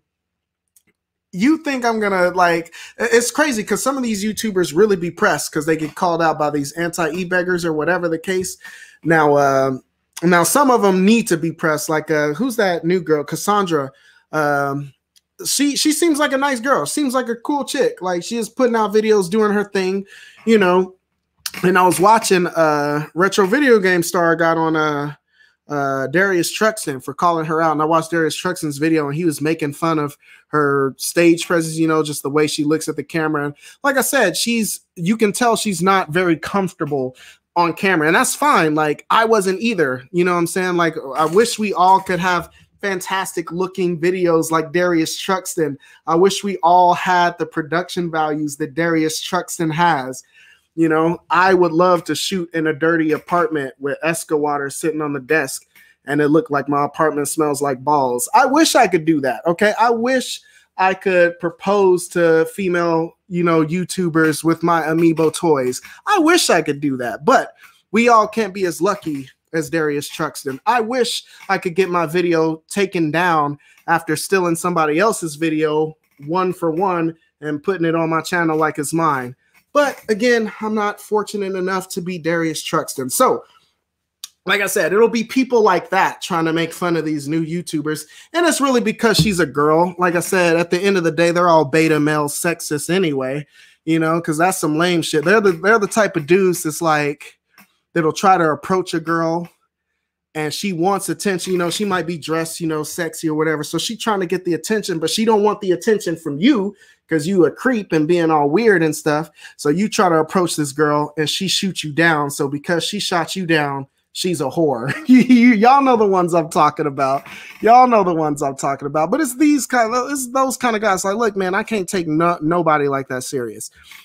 Luckily, I've stayed away from most of the drama on YouTube, and I haven't really gone back and forth with another YouTuber. But even if I did, I don't care, bro. Like I like I said, I'm grow up African American in Kansas. Like people call me worse things here in my own city than people do on YouTube. I work at middle in a middle school for gr- crying out loud. middle school teacher, okay? Middle schoolers are terrible people, okay? They're the worst. Okay? So if I can take the verbal abuse from them, I'm sure I'll be fine on YouTube where it's people that I can't even see in the flesh and people who, you know, wouldn't obviously call me out if we were in person. It would be all smiles because they wouldn't want to catch the fade. But anyway, yeah, see y'all, whoo, y'all get me on this tangent today. Look, I said I was gonna stop at two hours. We had two and a half hours. Let me uh let me read these comments. I'm gonna bust out these last two pickups. Making money from the internet isn't inherently evil. Manipulating, finessing people is bad though, and that's absolutely true. And there are a few channels that do that. Like I said, Wood Hawker um he yeah man he be on some weird stuff and, it's messed up because he knows that his fan base is made up of children you know and overthink gaming has called him out on this several times and woodhawker will do the whole thing like guys i told you stop sending me stuff. And he says that knowing that they're going to keep sending him stuff and he'll take the stuff that he sends them and keep what he likes and sells the rest or he'll give it away, you know, in giveaways and stuff like that. That's pretty lame, especially when you're doing that to kids. Like that's all bad. So Woodhawker deserves all the hate that he gets for that because if he really wanted these kids to stop sending him stuff, he would he would deactivate his PO box. Like he would take that down, but he continues to put it in the links of every one of his videos so you can send him stuff even though he says, "Guys, stop sending me stuff." Like that's lame. Like I'm not I'm not for that at all. You know what I'm saying? But for the most part, most of these YouTubers, they just they're just big YouTubers, and so they get hate just because they're the biggest thing in the building. And that's you know, that goes with the territory. Most YouTubers in the space are doing fine, just doing what they're supposed to do. There are sleazes out there for sure, but it's not as rampant as people make it out to be. Like there are some big channels that scam people, but again, like if these people, like we talked about with the earlier with the uh, casual gamers, if these people are cool with getting scammed, if they want to be, you know, white wells and buy super expensive stuff and send to the YouTubers just so they can feel like they're a part of the channel, if that's what they want to do, then hey, I mean, you that, that's they that's their choice to do that. So, um, yeah, for sure. So, let's see if you get notified when you get a free pass to E3. What would be the first thing you say and make a vlog? Oh, I would definitely vlog that. I would love to. I, I my, my goal is to go to one of these uh, retro shows. Like I would love to do a vlog at E3. E3 is not as big as it used to be, honestly but uh definitely there's some E3 shows that I wish I were there for. I wish I was there in 2001 where they unveiled Metal Gear Solid Sons of Liberty for the first time to be those 12 people in that room, the first 12 people to see that trailer, uh, to see the game in motion for the first time. That probably, oh my God, that would have blown me away to be there when old boy from PlayStation got on stage and hit him with the 299. Like, yeah, there's some definitely some E3 moments I wish I could have been there for, and I would have vlogged it and done all that, and it would have been fantastic. Sadly, E3, like I said, is not as big as it used to be, but it's still definitely worth going to, in my opinion. And I would love to go, and I would definitely record it if I did. Um, I do want to go to one of these video game shows this summer and uh, go out there. If there's one close enough for me to drive, because I don't really like flying if I can drive, if I can spend like an eight hour drive to get out to one of these places and just be there for a day or so and then come back, you know, like they do the uh the Mo games in uh in uh Missouri. And I think they do that in St. Louis or KC Mo or somewhere, something like that. So next time they do that one, the Mo Games convention, I'm definitely going to that because that's something I can drive to, being you know uh, three hours from the border here in Kansas. So I would definitely go do that. That would be super cool. Yep, Garrett, no snack for you. You see, I think you would make good quality interviews with people in the gaming industry. Yeah, that is actually that that's a good uh it's interesting that you mentioned that because that is something I would like to do one day. Um, you know, once I get if I if, you know, God willing, I get big enough to actually know some of these bigger people on a on a more personal level. Um, and like I said, eventually in the future, that'll be the case, right? Like uh, some of my favorite YouTubers that I'm cool with right now, like uh, Professor Joe Casey, Retro Rivals, Pac Man Case, um, they're going to be huge one day. They are definitely going to be huge one day. And then I'll be able to say, I know those guys. And uh, yeah, so man, y'all don't forget about me, man, when y'all get to the top out here. Y'all remember your boy, old lightsaber, okay? Uh, Colin is in the house, says, I wouldn't say I'm good at any of the few things I'm passionate about. I just say slightly above meta core or mediocre. Uh oh, camera just died. So if you guys can hear me, my camera just died because I don't. Let me switch my battery real quick. Let's see if I can get back in it.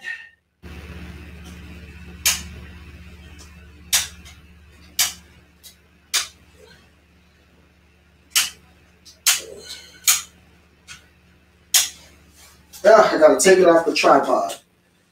So, excuse me.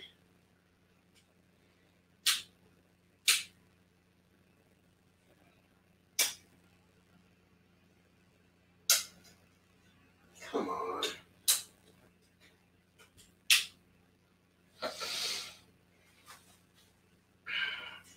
Okay, so that's not gonna work. I'm gonna have to switch. Hold on. Boy, oh boy, oh boy. Let's see.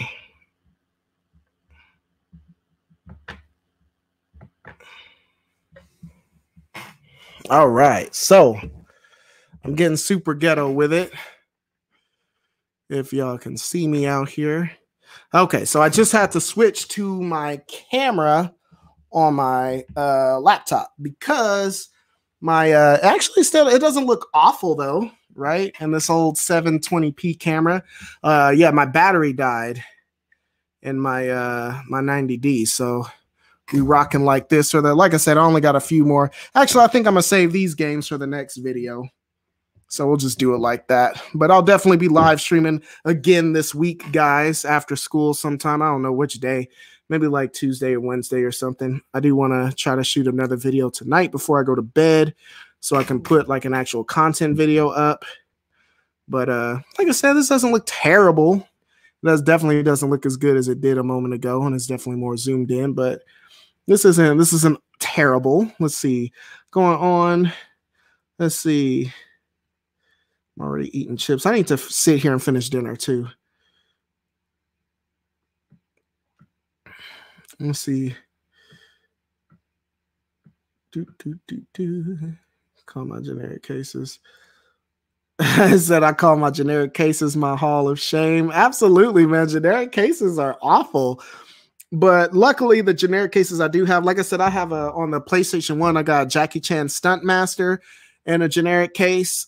So that one is kind of expensive now to have complete in box, but I would like to own that one. It's kind of this is a pretty cool beat 'em up slash action platformer. This uh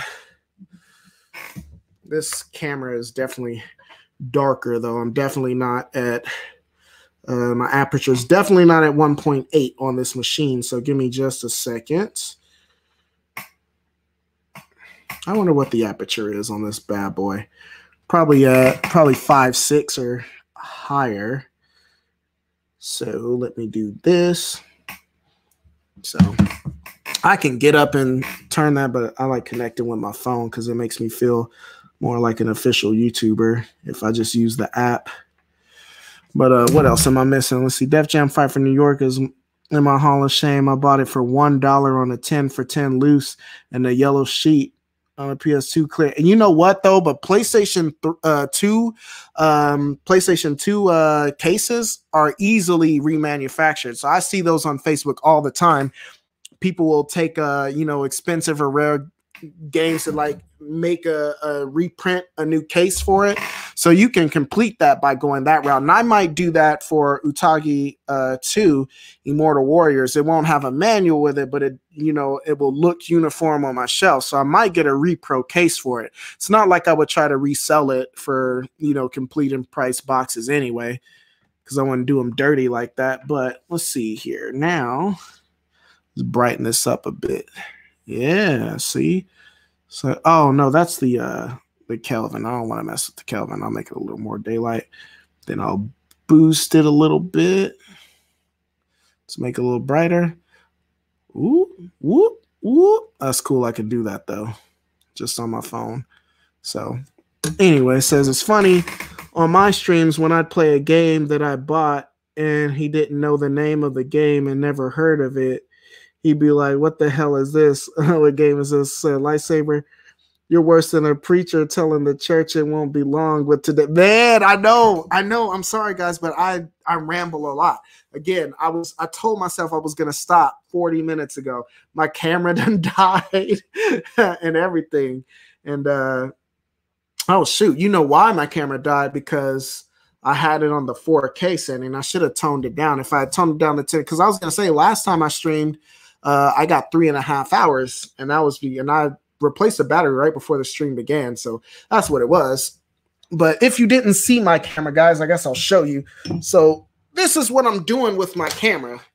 So it's like a whole like rig now.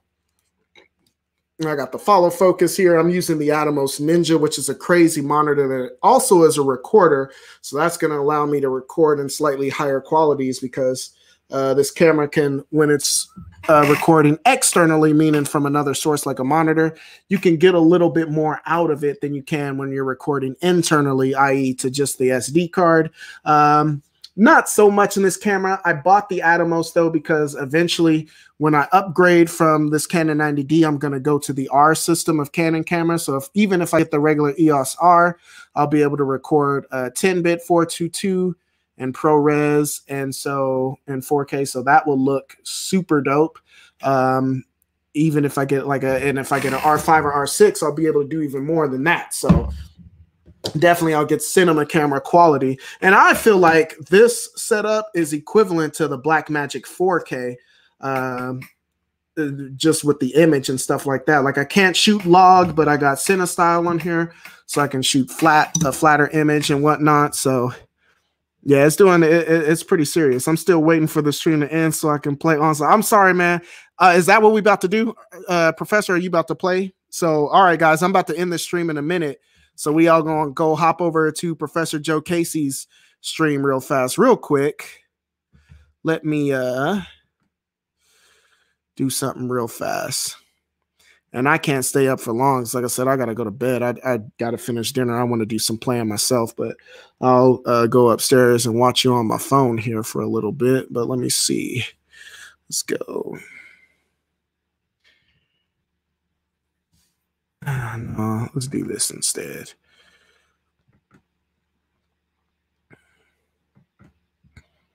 But uh, yeah, I do want to post this channel up here in a second so you can see what's popping. And I'm just uh, sorry, all these ads and stuff popping up. But yeah, so when I end the stream in a second, guys, if y'all want to hop, hop over to Professor Joe Casey's channel and we can watch him play for a bit, that would be super dope if y'all would do that. And he's been blowing up, guys, too. Joe Casey puts in work, man, and he got himself up to 448 right now. He has a whole nother channel where he's sitting at, he's already monetized on that channel and all that, doing big things on his other channel. But let me just go here, share screen, uh, share window.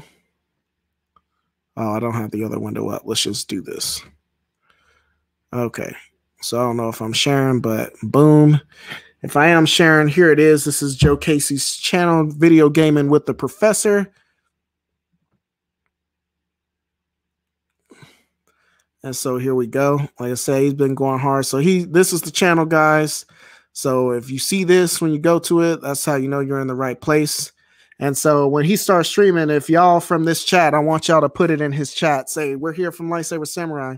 So I want to see who goes over. Even if y'all just hop over for a few minutes, go show my homie some love. I'm gonna stop sharing that. But like I said, I was gonna show these last two uh, games. I'm gonna hold these off, and we'll talk about that later this week when I go over the other games that I am going to talk about as far as pickups. Budget gaming is in the house. What's up, Ian? What's going on, sir?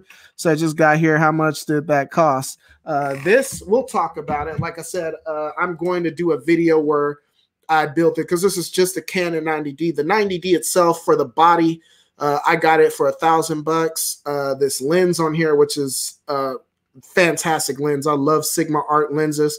This is the uh, 18 to 35 1.8. This lens is about 700 bucks. And uh, we'll talk about some of the other stuff. Like I said, some of parts of this rig I had to ball out for. Some of the parts I definitely skimped out on. So I'll show you what to skimp out for. Like for instance, follow focus units are very expensive.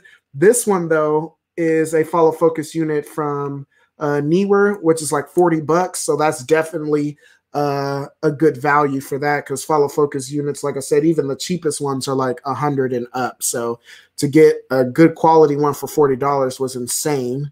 So we'll definitely talk about this follow focus unit.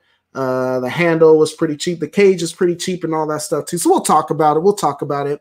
And um, when I build it out, I'll, I'll talk about each part and we'll talk about how much it cost along the way. And of course, I'll have links so you can go check the stuff out yourself. If you got um, 80D, 90D, I know, um, oh, uh, my boy, uh, I'm spacing on his name. uh, spacing on my friend's name. I know he uses a uh, a 70 Mark II uh, for his content. M50 is another great camera to use. I got my M50 somewhere upstairs, so we'll make a we'll make a rig for it too. Bro, just watch the replay. You should definitely think of teaching a photography class. Uh, I also, in addition to teaching at uh, this middle school here, I also work at a rec center, and I have been playing with the idea of teaching a uh, intro to photography class there. Um, but I just been kind of I'm in the preliminary stages of that, just kind of building the curriculum and what it's going to consist of, working out the logistics because you know um, not everybody you know i don't want you to have to have a camera uh and the to join the class. Like i said you can a lot of the tips with photography you can do on a smartphone with a camera on it so uh that will be like the requirement just to have your phone and we'll do a lot of it like that so but yeah, I have been thinking about that to make a little class like that. I personally don't think I'm that good enough a photographer to do that, but it's crazy like how much I've learned in the last couple of years. So, um, you know, like I said, I think I've learned enough where I can show somebody something. So, uh, definitely going to do that. But guys, I'm going to get out of here because we are almost at the three hour mark again. I told myself I wasn't going to go over two hours, and I did it again. But if you guys like this content, go ahead, hit that like button, subscribe. If you haven't done so already, you'll be glad you did. Ian says that's a lot of money, but it really makes a big difference in quality. Uh, yeah, absolutely, man. Especially when you're doing paid gigs. If I walk in, uh, I got one of my cameras over here. So here's a a budget setup that I, I like to use. I this is the uh, setup I use for most of uh, early 2020 for like the first half of 2020. Uh, got through, and like I said, I did it with just the Canon T6i and this 24 millimeter lens here. So this was my setup for the early part of 2020. Uh, so like my Xbox Hidden Gems Part Two video I shot on this. Uh, the the the video I shot on the Retrocade I did on this camera. So a bunch of videos uh, I shot on this setup. But if you go into like a local business, like, hey, I want to I want to shoot a, a quick video for you, you know, make you some content on Instagram, you know, and you know, try to talk about charging them some money, they're gonna look at this and be like, uh, no, nah, I don't think you're what we're looking for. But if you walk in there like this, and like, hey, all right, man, we gonna do some shooting, man. Like, you know what's going on? Like, I I, I make uh films and you know whatever, blah blah blah blah blah. Like I said, just coming in with this, there's a psychological effect to having a setup this big versus this, and so again, you can get the job done with either setup, but this is going to allow you to do the job easier. And like I said, the psychological effect of it being so large, this looks more professional than this. And so that's why you do it. Again, uh, to have some of the functionality that I would have with a cinema camera, you need a rig like that for it. Um, so JC is out. Thanks. Have a good night. Hey, thank you for stopping by. Appreciate it. Looks like a oh on the wall here. Yeah, yeah, absolutely. This is uh Masamune. This is Sephiroth's sword from Final Fantasy VII. My uh, little brother got that for me for my birthday years and years ago. Uh, so yeah. But uh, yeah, guys, I, am gonna call it there. Again, two hours and 50 minutes. That is a that's that's a good night. So I appreciate everybody stopping by. Again, if you like this content, please go ahead, hit that subscribe button. If you are new to the channel, you'll be glad you did. Uh, I that's all I got for you guys. Lightsaber Samurai out. Peace. And uh just said we got to talk about updating my camera. Yeah, man, Joe, we're gonna get together, man, and talk about that. Um, and say hit me up on the gram or something, and we can go back and forth. I can give you some pointers and whatnot. Take a picture, show me what you got, and I can maybe make some just some suggestions about what you can buy, maybe to spruce up the camera you already have, so you don't have to buy a whole new new camera uh, setup or whatever the case. Uh, you know, uh, like I said, I give you some tips about lighting and whatnot too to hopefully improve that. But guys, that's gonna do it for me.